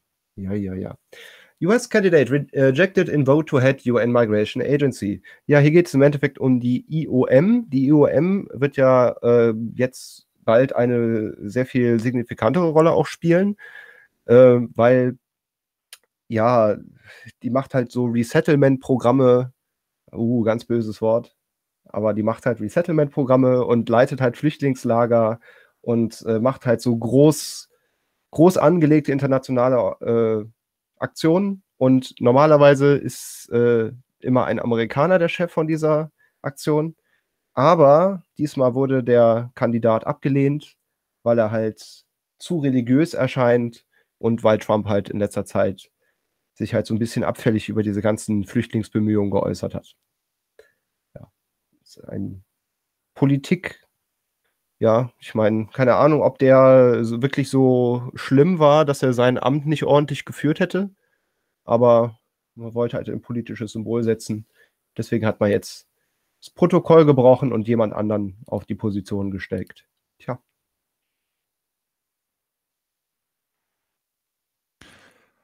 Das war ein sehr merkwürdiger Artikel. Also Foreign Policy an sich ist schon halt eher aus dem liberalen Lager bei den Amis, also mit Democrats, aber ich fand den Artikel einfach nur sehr merkwürdig. Der hatte so eine richtige, so eine, diese Lingo, die du sonst eigentlich mehr von ich weiß nicht, Slade wäre jetzt ein zu harter Vergleich, aber der halt einfach eine starke linke Rhetorik hat. So, äh, Trump, furchtbar, blablabla, Ende der Welt. Und ja, es ist ein Karrierediplomat, der zurücktritt, aber ähm, das State Department wurde jetzt unter Trump sehr stark verkleinert, äh, personell gesehen. Und da gibt es viel mehr Gründe, also unglücklich zu sein, wenn sich da jetzt jemand öffentlich inszeniert über das eine oder andere Statement.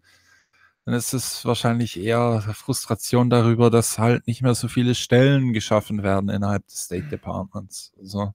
Aber ich fand einfach die Rhetorik, die, die Wörter, der die Artikel, die im Artikel verwendet worden sind, fand ich krass. So. Für Foreign Policy. Also, ich meine, die haben auch ihren Bias und alles, aber die haben eigentlich nicht so ein, so einen harten Linksdrall. So. Ja. Und in Myanmar werden hin und wieder Soldaten, die Menschenrechte mit Füßen treten, vor Gericht gebracht, was eine ziemliche Neuerung ist. Zwar werden keine höherrangigen Menschen vors Gericht gestellt und man weiß nicht genau, ob die Strafen tatsächlich vollzogen werden. Aber es ist selbst, wenn es nur fadenscheinig ist, für Myanmar schon eigentlich ein großer Schritt in Richtung Rechtsstaat. So. Auch wenn das natürlich im Vergleich zu unseren Standards lachhaft ist. Aber ja, da habt ihr es. In Sudan wurde ein ja, Friedensvertrag unterzeichnet und hoffentlich wird er eingehalten. Es, äh, Südsudan hat Probleme. Äh, über zwei Millionen Menschen haben das Land verlassen.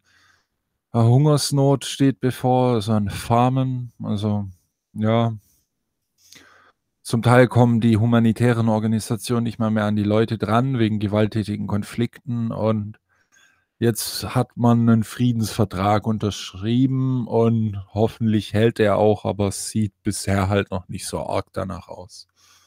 Aber ja.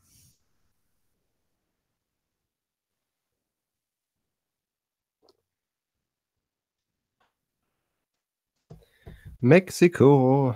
Ja, Mexiko hat Wahlen und zwar heute. Heute beginnen die Wahlen in Mexiko.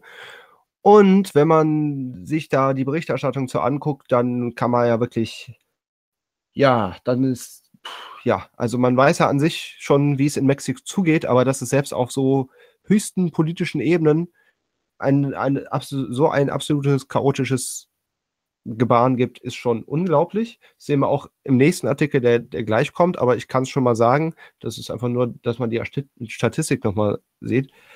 Äh, da werden die politischen Kandidaten einfach links und rechts erschossen, ja, und äh, das ist einfach der normale politische Alltag. Ja, in dem Deutschlandfunk-Hintergrund, äh, der auf jeden Fall hörenswert ist, weil da auch wieder schockierend doch die Fakten vor Ort ziemlich ungeschönt berichtet werden. Ja, da hört man zum Beispiel eine Dame von der Friedrich-Naumann-Stiftung, das ist eine FDP-nahe Stiftung, von der man auch eher ausgehen kann, dass sie sich eher ein bisschen zurückhaltender äußert und die sagt halt so Sachen, die so, ja, wir leben halt hier in einer Kultur der Korruption, da, da kommen wir auch nicht raus und äh, was die politischen Kandidaten sagt, das kann man alles nicht ernst nehmen. Wie der ganz normale Bürger denke ich mir auch nur, ja, man möchte halt ne, morgens aus dem Haus gehen und abends wieder sicher nach Hause kommen und andere Gedanken hat man da im Moment gar nicht, was diesen ganzen Wahlkampf angeht weil einfach die Situation in Mexiko so schlimm ist, dass halt sogar die politischen Kandidaten die ganze Zeit umgebracht werden. Und sonst auch irgendwie 98 Leute jeden Tag jetzt in Mexiko statt in den letzten Tagen vorm Wahlkampf. Und äh, ja, ganz schön chaotische Zustände, sehr brutale Zustände. Und ich empfehle den Deutschlandfunk-Hintergrund sich einfach mal anzuhören. Ja, und keine Ahnung. Ich will nicht direkt den Bogen dazu machen, aber keine Ahnung, wenn man sich sowas als Amerikaner mal vor Augen führt und das ist im Nachbarland solche, hat, solche Zustände, ja, da kann man auf gewisse Gedanken kommen. In Deutschland ist um, ähm. Erdogan viel beliebter als zu Hause. In Aha. diesem Artikel verbirgt sich eine wunderschöne Grafik. Wenn der liebe Chris etwas nach unten scrollt, dann können wir in einer schicken Infografik anschauen, wie verschiedene äh, Türken, die im Westen verteilt sind, äh, denn so gewählt haben. Und wir sehen hier Belgien 74 Prozent, Niederlande 72 Prozent, Österreich 72 Prozent, Deutschland 64 Prozent.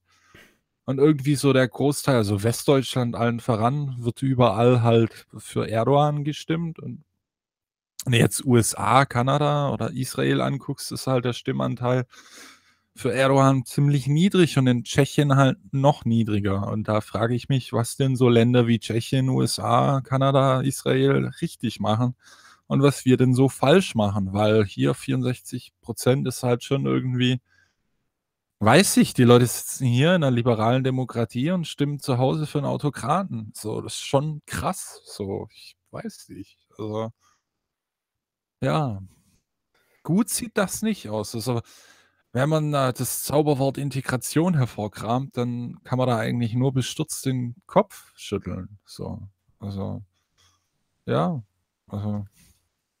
Bei der letzten Wahl war mir ein, eine Sache an der Statistik aufgefallen, und zwar, dass insgesamt zwar viele Leute für Erdogan gewählt haben, aber doch vom Anteil der Wahlberechtigten relativ wenige hingegangen sind zur Wahl. Hast du da die Zahlen hierfür?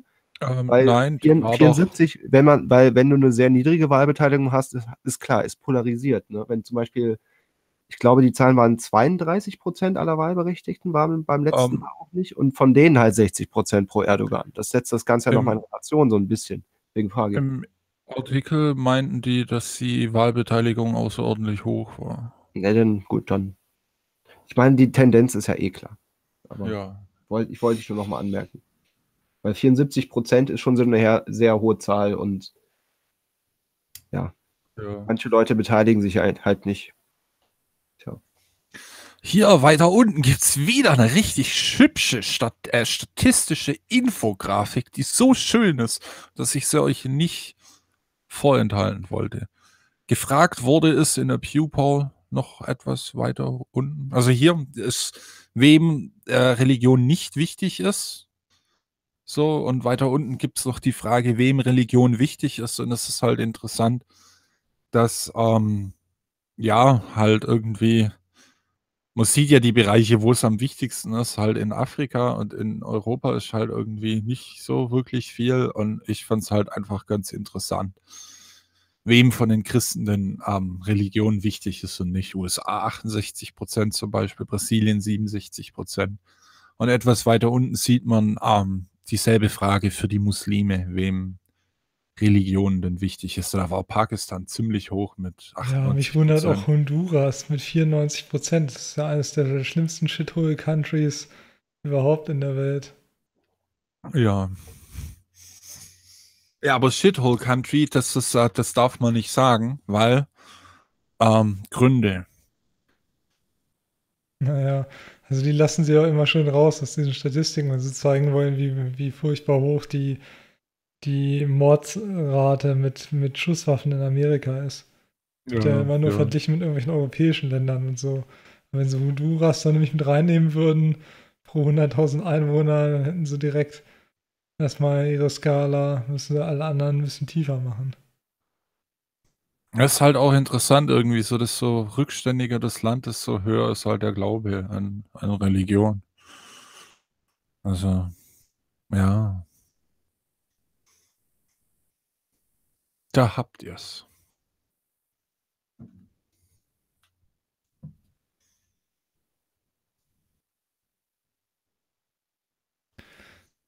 Ja, apropos Religion, ich habe hier nochmal so ein paar Sachen. Und zwar diese Dame hier, Fräulein Griese, ist von der SPD, eine Bundestagsabgeordnete und die ist auch gleichzeitig in der evangelischen Kirche in Deutschland aktiv und schreibt hier so Meinungsbeiträge auf ihrer Homepage wie Christsein und AfD passen nicht zusammen.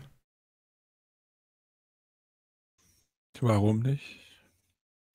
Ja, wahrscheinlich, weil die nichts für Flüchtlinge machen oder so. Ja, okay. Aber gab es da nicht so eine Bibelstelle, dass du dir Flüchtlinge als Sklaven halten sollst oder so? Oder Wer nicht arbeitet, soll nicht essen, ja, sowas. Ja. Und die erste Mal aufgezeichnet, ähm, der, der, der, die Forderung nach einem Genozid hat man im, im Alten Testament. Das erste Mal das Genozid vorgeschlagen wurde und es halt langfristig erhalten geblieben ist in Textform. Ja, und der Herr de Maizière hat die Bedeutung von Religion unterschätzt im Zusammenhang mit muslimischen Migranten. Also, wie kommt er denn jetzt drauf? Also, was wusste man 2015 oder 2010 nicht, was man heute wissen kann? Ja. Also, Aber den Kram, was er hier wieder redet, ist so typisches CDU-Geschwätz. Deswegen geht dann hier wieder auf. Können wir genauer erklären, was der Sinn von kirchlichen Feiertagen ist und warum wir in Deutschland davon so viele haben? Ja, also ich kann es dir erklären, lieber Thomas de Maizière, weil es irgendwie eine CDU gibt, wo die Leute ähm, ja eigentlich religiöser sind, als die Mehrheit der Gesellschaft jetzt tatsächlich gerade in den Großstädten halt eben ist. So.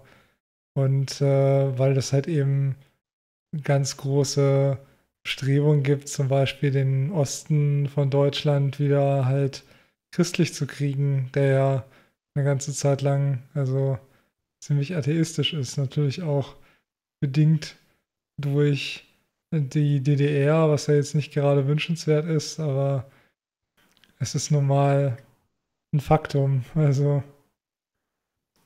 und ja, deswegen meint man, das wäre alles wichtig. Also es geht dann wieder zurück auf dieses Angela Merkel, wir können auch, können auch mal ein Bild in der Kirche erklären oder so. Als ob das irgendwie miteinander verrechnet werden würde, irgendwie so, als ob irgendwie der Islam irgendwie besser dann in Deutschland äh, reinpasst, wenn wir irgendwie wieder christlicher werden oder so. Ja, also ich weiß nicht, wie, wie weit das sich also verhält, also wie viele christliche Feiertage du erklären musst, um einen Ehrenmord zu verhindern. Ja. Also, oder, oder um einen Terroranschlag zu verhindern. Also wie das Verhältnis da ist, das wüsste ich gern. Weil, also, Ja, das ist aber halt so die Denke, ne? Ist halt naiv. Also, Ja, das hier ist ein Ja. Gastbeitrag von, ich fasse mir an die Nase, Slavoj Žižek.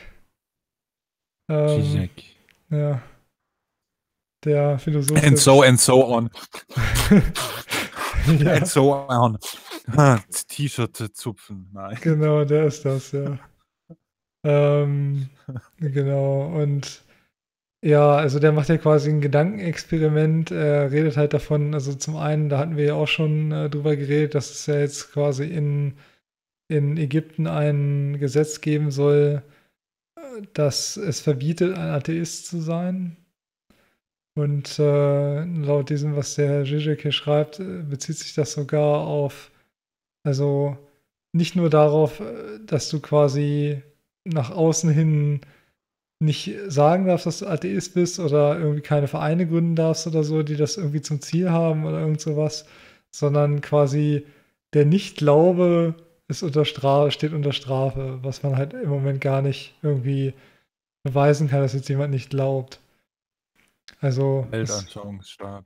es ist, ist schon ziemlich übel auf jeden Fall. Und der Herr Zizek äh, hat hier, ähm, denkt hier so ein bisschen darüber nach, über die neuen Entwicklungen in der, ähm, also wie, wie man jetzt den Leuten ins Gehirn gucken kann und dass man halt in irgendwelchen Laborversuchen das hingekriegt hat, den Leuten irgendwelche Halluzinationen zu geben, so was halt auch irgendwelche religiösen Erlebnisse halt sein können.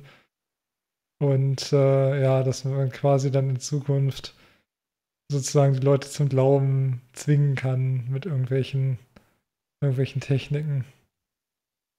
Ah, dann gibt es endlich einen Chip. Weißt du, da kannst du die Leute ruhig stellen, religiöse Erfahrungen am Feiertag ausgeben. Weißt du? Genau. Das ist doch mal was. Hier Zukunftstechnologie, nicht mehr Neuland und so. Man kann dann vielleicht so noch Korane anreichern, weißt du? Ja. Das ist eine meiner Lieblingsmeldungen ever. Evangelicals back self-styled top US Pimp. Also die Evangelikalen stellen sich hinter dem selbsternannten äh, Top-Zuhälter von Amerika. Und äh, ja, das ist halt ein Typ, der betreibt legale Bordelle, was wohl in manchen Bundesstaaten geht das wohl. Ich glaube in Nevada und noch irgendwie in zwei. Ach, der ist auch in Nevada, ja. Und ähm, ja, also die Evangelikalen sind Fan von ihm, weil er halt ein Republikaner ist und äh, also der Typ selber meint auch irgendwie, nee, ich rede gar nicht so gerne über Religion und so. Ähm, aber ja, er hält sich halt für einen super coolen Typen, ist auch schon irgendwie zweimal geschieden und so. Und ich habe keine Ahnung, aber irgendwie finden die den halt großartig und äh, unterstützen seine Kandidatur für, ich weiß gar nicht, was das hier ist. Ach ja, für den, für, für die, für die State Assembly von Nevada, also quasi für den, ähm, für, für den, für, äh, für, für das Parlament von, von dem Bundesstaat Nevada. Hervorragend. Genau, der ist quasi der Hugh Hefner, nur halt als B-Promi und halt gone wrong. Ja, der Typ hat bei irgendeiner HBO-Dokumentation schon mal mitgewirkt, stand hier drin. Und ja, die Ja, der, der kennt den. Trump halt über sein, sein Filmnetzwerk, über, über die ganzen Reality-TV-TV-Sendungen und sowas. Der hat auch eine eigene Reality-TV-Sendung gehabt, eine Zeit lang. Und äh, Also das ja, ging ja eigentlich nicht halt- raus halt vor. dieser- hier, dieser stand, hier stand eigentlich drin, so hier stand eigentlich, hier stand eigentlich nur drin, dass er in, irgendwie in einer Folge von dieser HBO-Dokumentation über Bordelle irgendwie mitgespielt hat. Also Nö, der, ein, der hat einige Sachen gemacht. Also wie gesagt, der ist halt wie der Hugh Hefner, nur halt B-Promi und Gone Wrong. So muss man Ja, sich den gut. vorstellen. Also und der, der passt halt natürlich in, in Trumps. Reality-TV-Umfeld perfekt rein. Der war nicht bei Apprentice dabei, dafür ist er ein bisschen zu alt, aber ja, ne, aus der Ecke kommt er halt irgendwie und äh, hat halt das, seine Kontakte da halt irgendwie geleveraged und hat bei den Hardcore-Evangelikalen, Evangelicals halt, äh, ja, es haben viele kritisiert, aber die finden Trump halt gut, was soll man sagen, ne? Naja, vor Dingen finde ich den Typen ja gut. Ja. Ja, auf jeden Fall, das ist halt ne, so hier religiöse Werte, ne? Das ist halt das Allerbeste. Das ist halt so eindeutig und nicht so beliebig und so, ne? Da weißt du einfach ganz genau, moralischer Kompass, dass du so einen Typen, der zweimal geschieden ist, halt großartig findest. der Aber hat nicht betreibt. Jesus gesagt, dass man auf die Huren und die Zöllner Ja. auch zugehen soll? Ja, ja, stimmt schon, natürlich. Ja, aber wie sollst du auch Moral haben ohne, ohne, weißt du, ohne Religion? Das ist das beste Beispiel. Ja, hier in diesem Paper geht es darum, dass man festgestellt hat, dass ähm, wenn man ähnliche Ansichten hat, dass man den moralischen Charakter einer Person höher wertet, wie wenn man unterschiedliche Ansichten hat. Es war auch wieder so eine Studie, wo du dir denkst, wow, wer hätte es denken können, aber halt irgendwie auch interessant, dass man dazu jetzt halt einen richtigen Artikel hat, auf den man verweisen kann. Also, Leute, die ähnliche Gesinnung haben wie du, die schätzt du halt moralisch besser ein, obwohl das eventuell gar nicht der Fall ist. Obwohl es eventuell die Top-US-Pimps sind, ja. Ja, also und was war es? Äh, 645 Subjekte, so mit ein paar Tests, aber ja, ist halt dieses Ding, wie kognitive Verzerrung entsteht, wie so ein Pimp halt drankommt. Also. Und hier haben wir gleich noch einen Artikel darüber, wie klug oder unklug Menschen sind, wenn du etwas runterscrollst. Da gibt es einen Absatz, der äh, neurologische Mythen auf, ähm, ja, aufdröselt. Und zwar haben sie hier eine Umfrage gemacht. Ah, da ein bisschen weiter hoch, genau. Ähm, haben sie eine Umfrage gemacht. Halt allgemeine Leute von der Öffentlichkeit, amerikanischen Öffentlichkeit, dann Lehrer und Menschen mit einer neurowissenschaftlichen ähm, ja, Bildung. Also jemand, der Neurowissenschaft studiert hat, einen Bachelor oder einen Master hat. Und ähm, dass es verschiedene äh, Lernstile gibt, das ist ein Mythos. Und ähm, 93 Prozent der Öffentlichkeit dachte das, 76 Prozent der, der Lehrer und 78 Prozent der Neurowissenschaftler, ähm, dass ähm, bei Dyslexie, ähm, dass man die Buchstaben vertauscht sieht.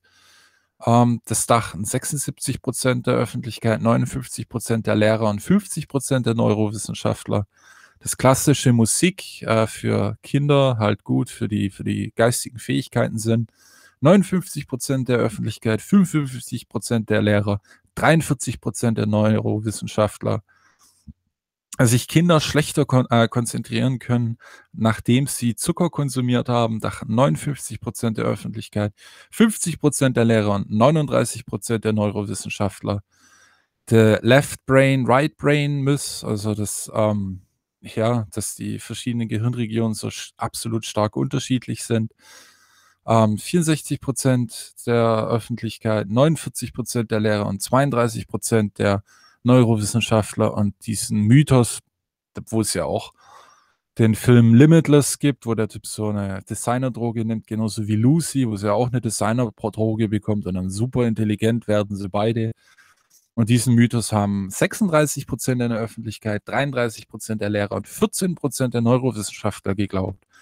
Ich finde es halt immer ganz interessant, wie jetzt speziell bei den Leuten, die einen neurowissenschaftlichen Hintergrund haben, wie sie halt, ja, halt Bullshit über ihr eigenes äh, Feld halt nicht so oft richtig einordnen können. Und ich finde es halt immer ganz interessant, wie klug dumme Menschen, äh, wie, wie dumm kluge Menschen sein können. Also, da habt ihr es. Der Versprecher war gut auf jeden Fall. Ja.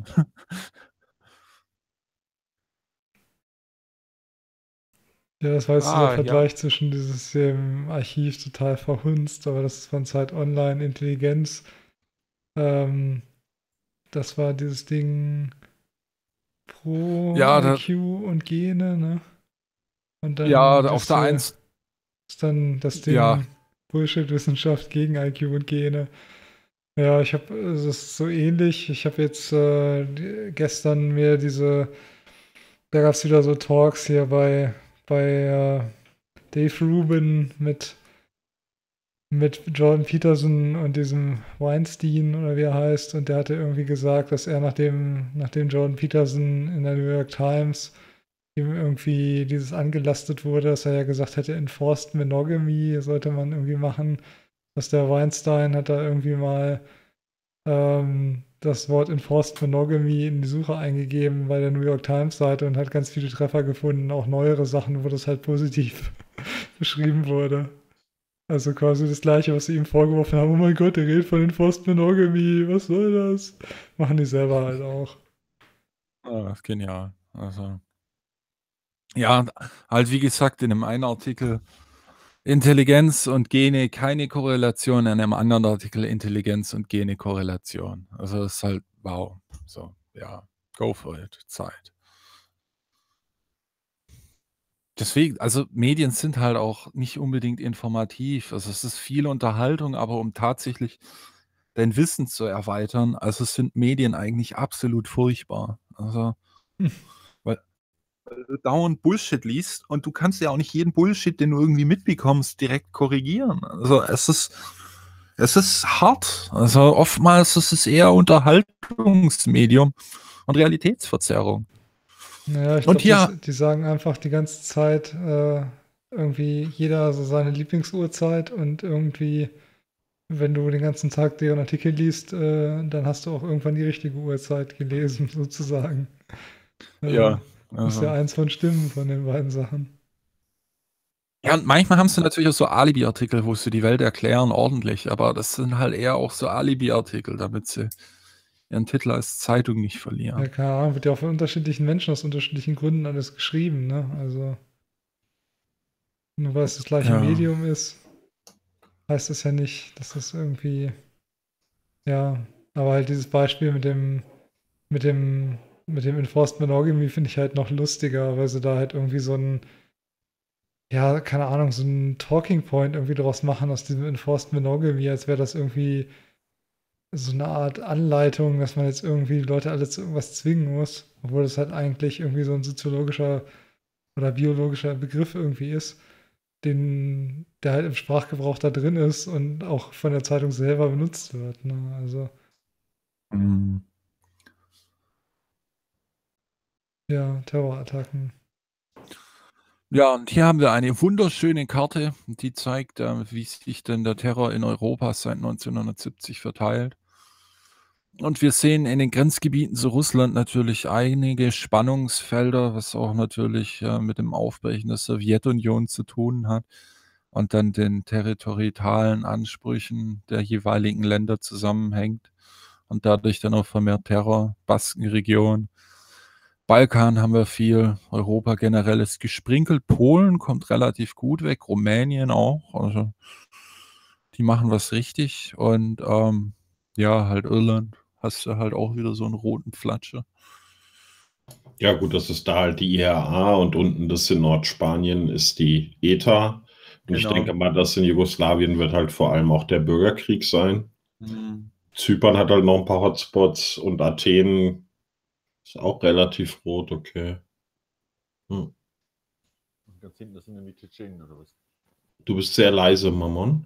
Ja, ganz hinten, das sind die Tschetschenen dann oder was? Ja, Tschetschen, also mit dem tschetschenischen Krieg. Ich meine, Russland hat ja auch ein No-Go Federal State. Das ist, Russland wird ja immer so hochgejubelt für, setzte sich für, für die Erhaltung des Westens ein und von einem No-Go-Bundesgebiet, in dem Scharia-Gesetz herrscht, da, da, das weiß man irgendwie nichts drüber. So. Was er auch erstmal hinbekommen muss. No-Go Bundesstaat in deinem eigenen Staat haben. So. Na, wo wir gerade bei den Sowjets sind. Ähm, Pepsi hat es geschafft, ähm, in die Sowjetunion einen Fuß in die Tür zu bekommen, dort Pepsi zu verkaufen. Man hatte damals unter Nixon und Khrushchev ähm, hatte man ähm, eine Küchenausstellung in, in Moskau, wo man sozusagen die beiden verschiedenen Systeme verglichen hat, wie denn so die generelle Küche aussieht. Ja, genau da mit, mit, mit Nixon und Ding. Mit Khrushchev. Ja, genau, das ist das Bild, wo er Pepsi trinkt. Und da hat noch der Chef von Pepsi hat den Nixon erwischt und meinte, ja, komm, wir, wir müssen den zum Pepsi trinken bringen. Und das Lustige an der Geschichte ist, dass halt der Rubel ähm, oftmals abgewertet worden ist und deswegen so eine richtige Bezahlung an Pepsi halt schwer war. Und dann Pepsi äh, zu Zeiten eine kleine Navy hatte, weil äh, die Sowjetunion halt Pepsi in Kriegsschiffen bezahlt hat und auch ein paar U-Boote draufgelegt hat. Und ich finde es halt irgendwie lustig, dass halt Pepsi als Konzern zu Zeiten mal eine kleine Navy unterhalten hat. Also, ja. Ja, aber die Geschichte geht noch weiter. Das war ja erst der Anfang des sogenannten Blockbuster-Deals, damals der russische Block halt. Äh, und zuerst haben die halt, weil die, der russische Rubel war nichts wert und deswegen haben die halt die Kriegsschiffe verkauft für Altmetall, wie du es gesagt hast.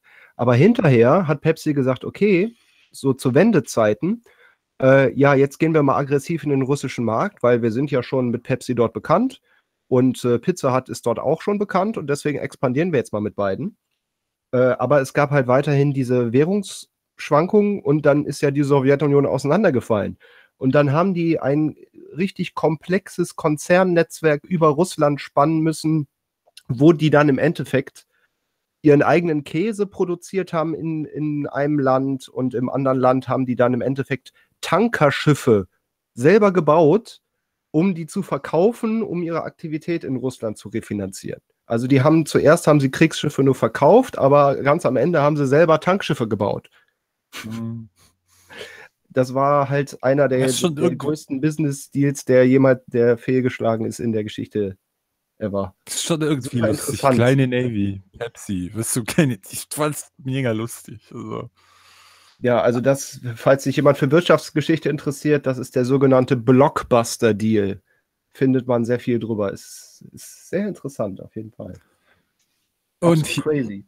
und hier zur Auflockerung noch: äh, Facebook hat ein Patent angemeldet, wie mit einer mit einem Signal, was in Werbung über den Fernseher geschaltet wird, was man selber nicht hören kann, ähm, auf einer Frequenzwelle als Handy aktiviert wird, um Sachen aufzuzeichnen. Und da haben sie eine Technologie jetzt ein Patent angemeldet. Und haben aber gesagt, dass die Technologie natürlich niemals zum Einsatz kommen soll.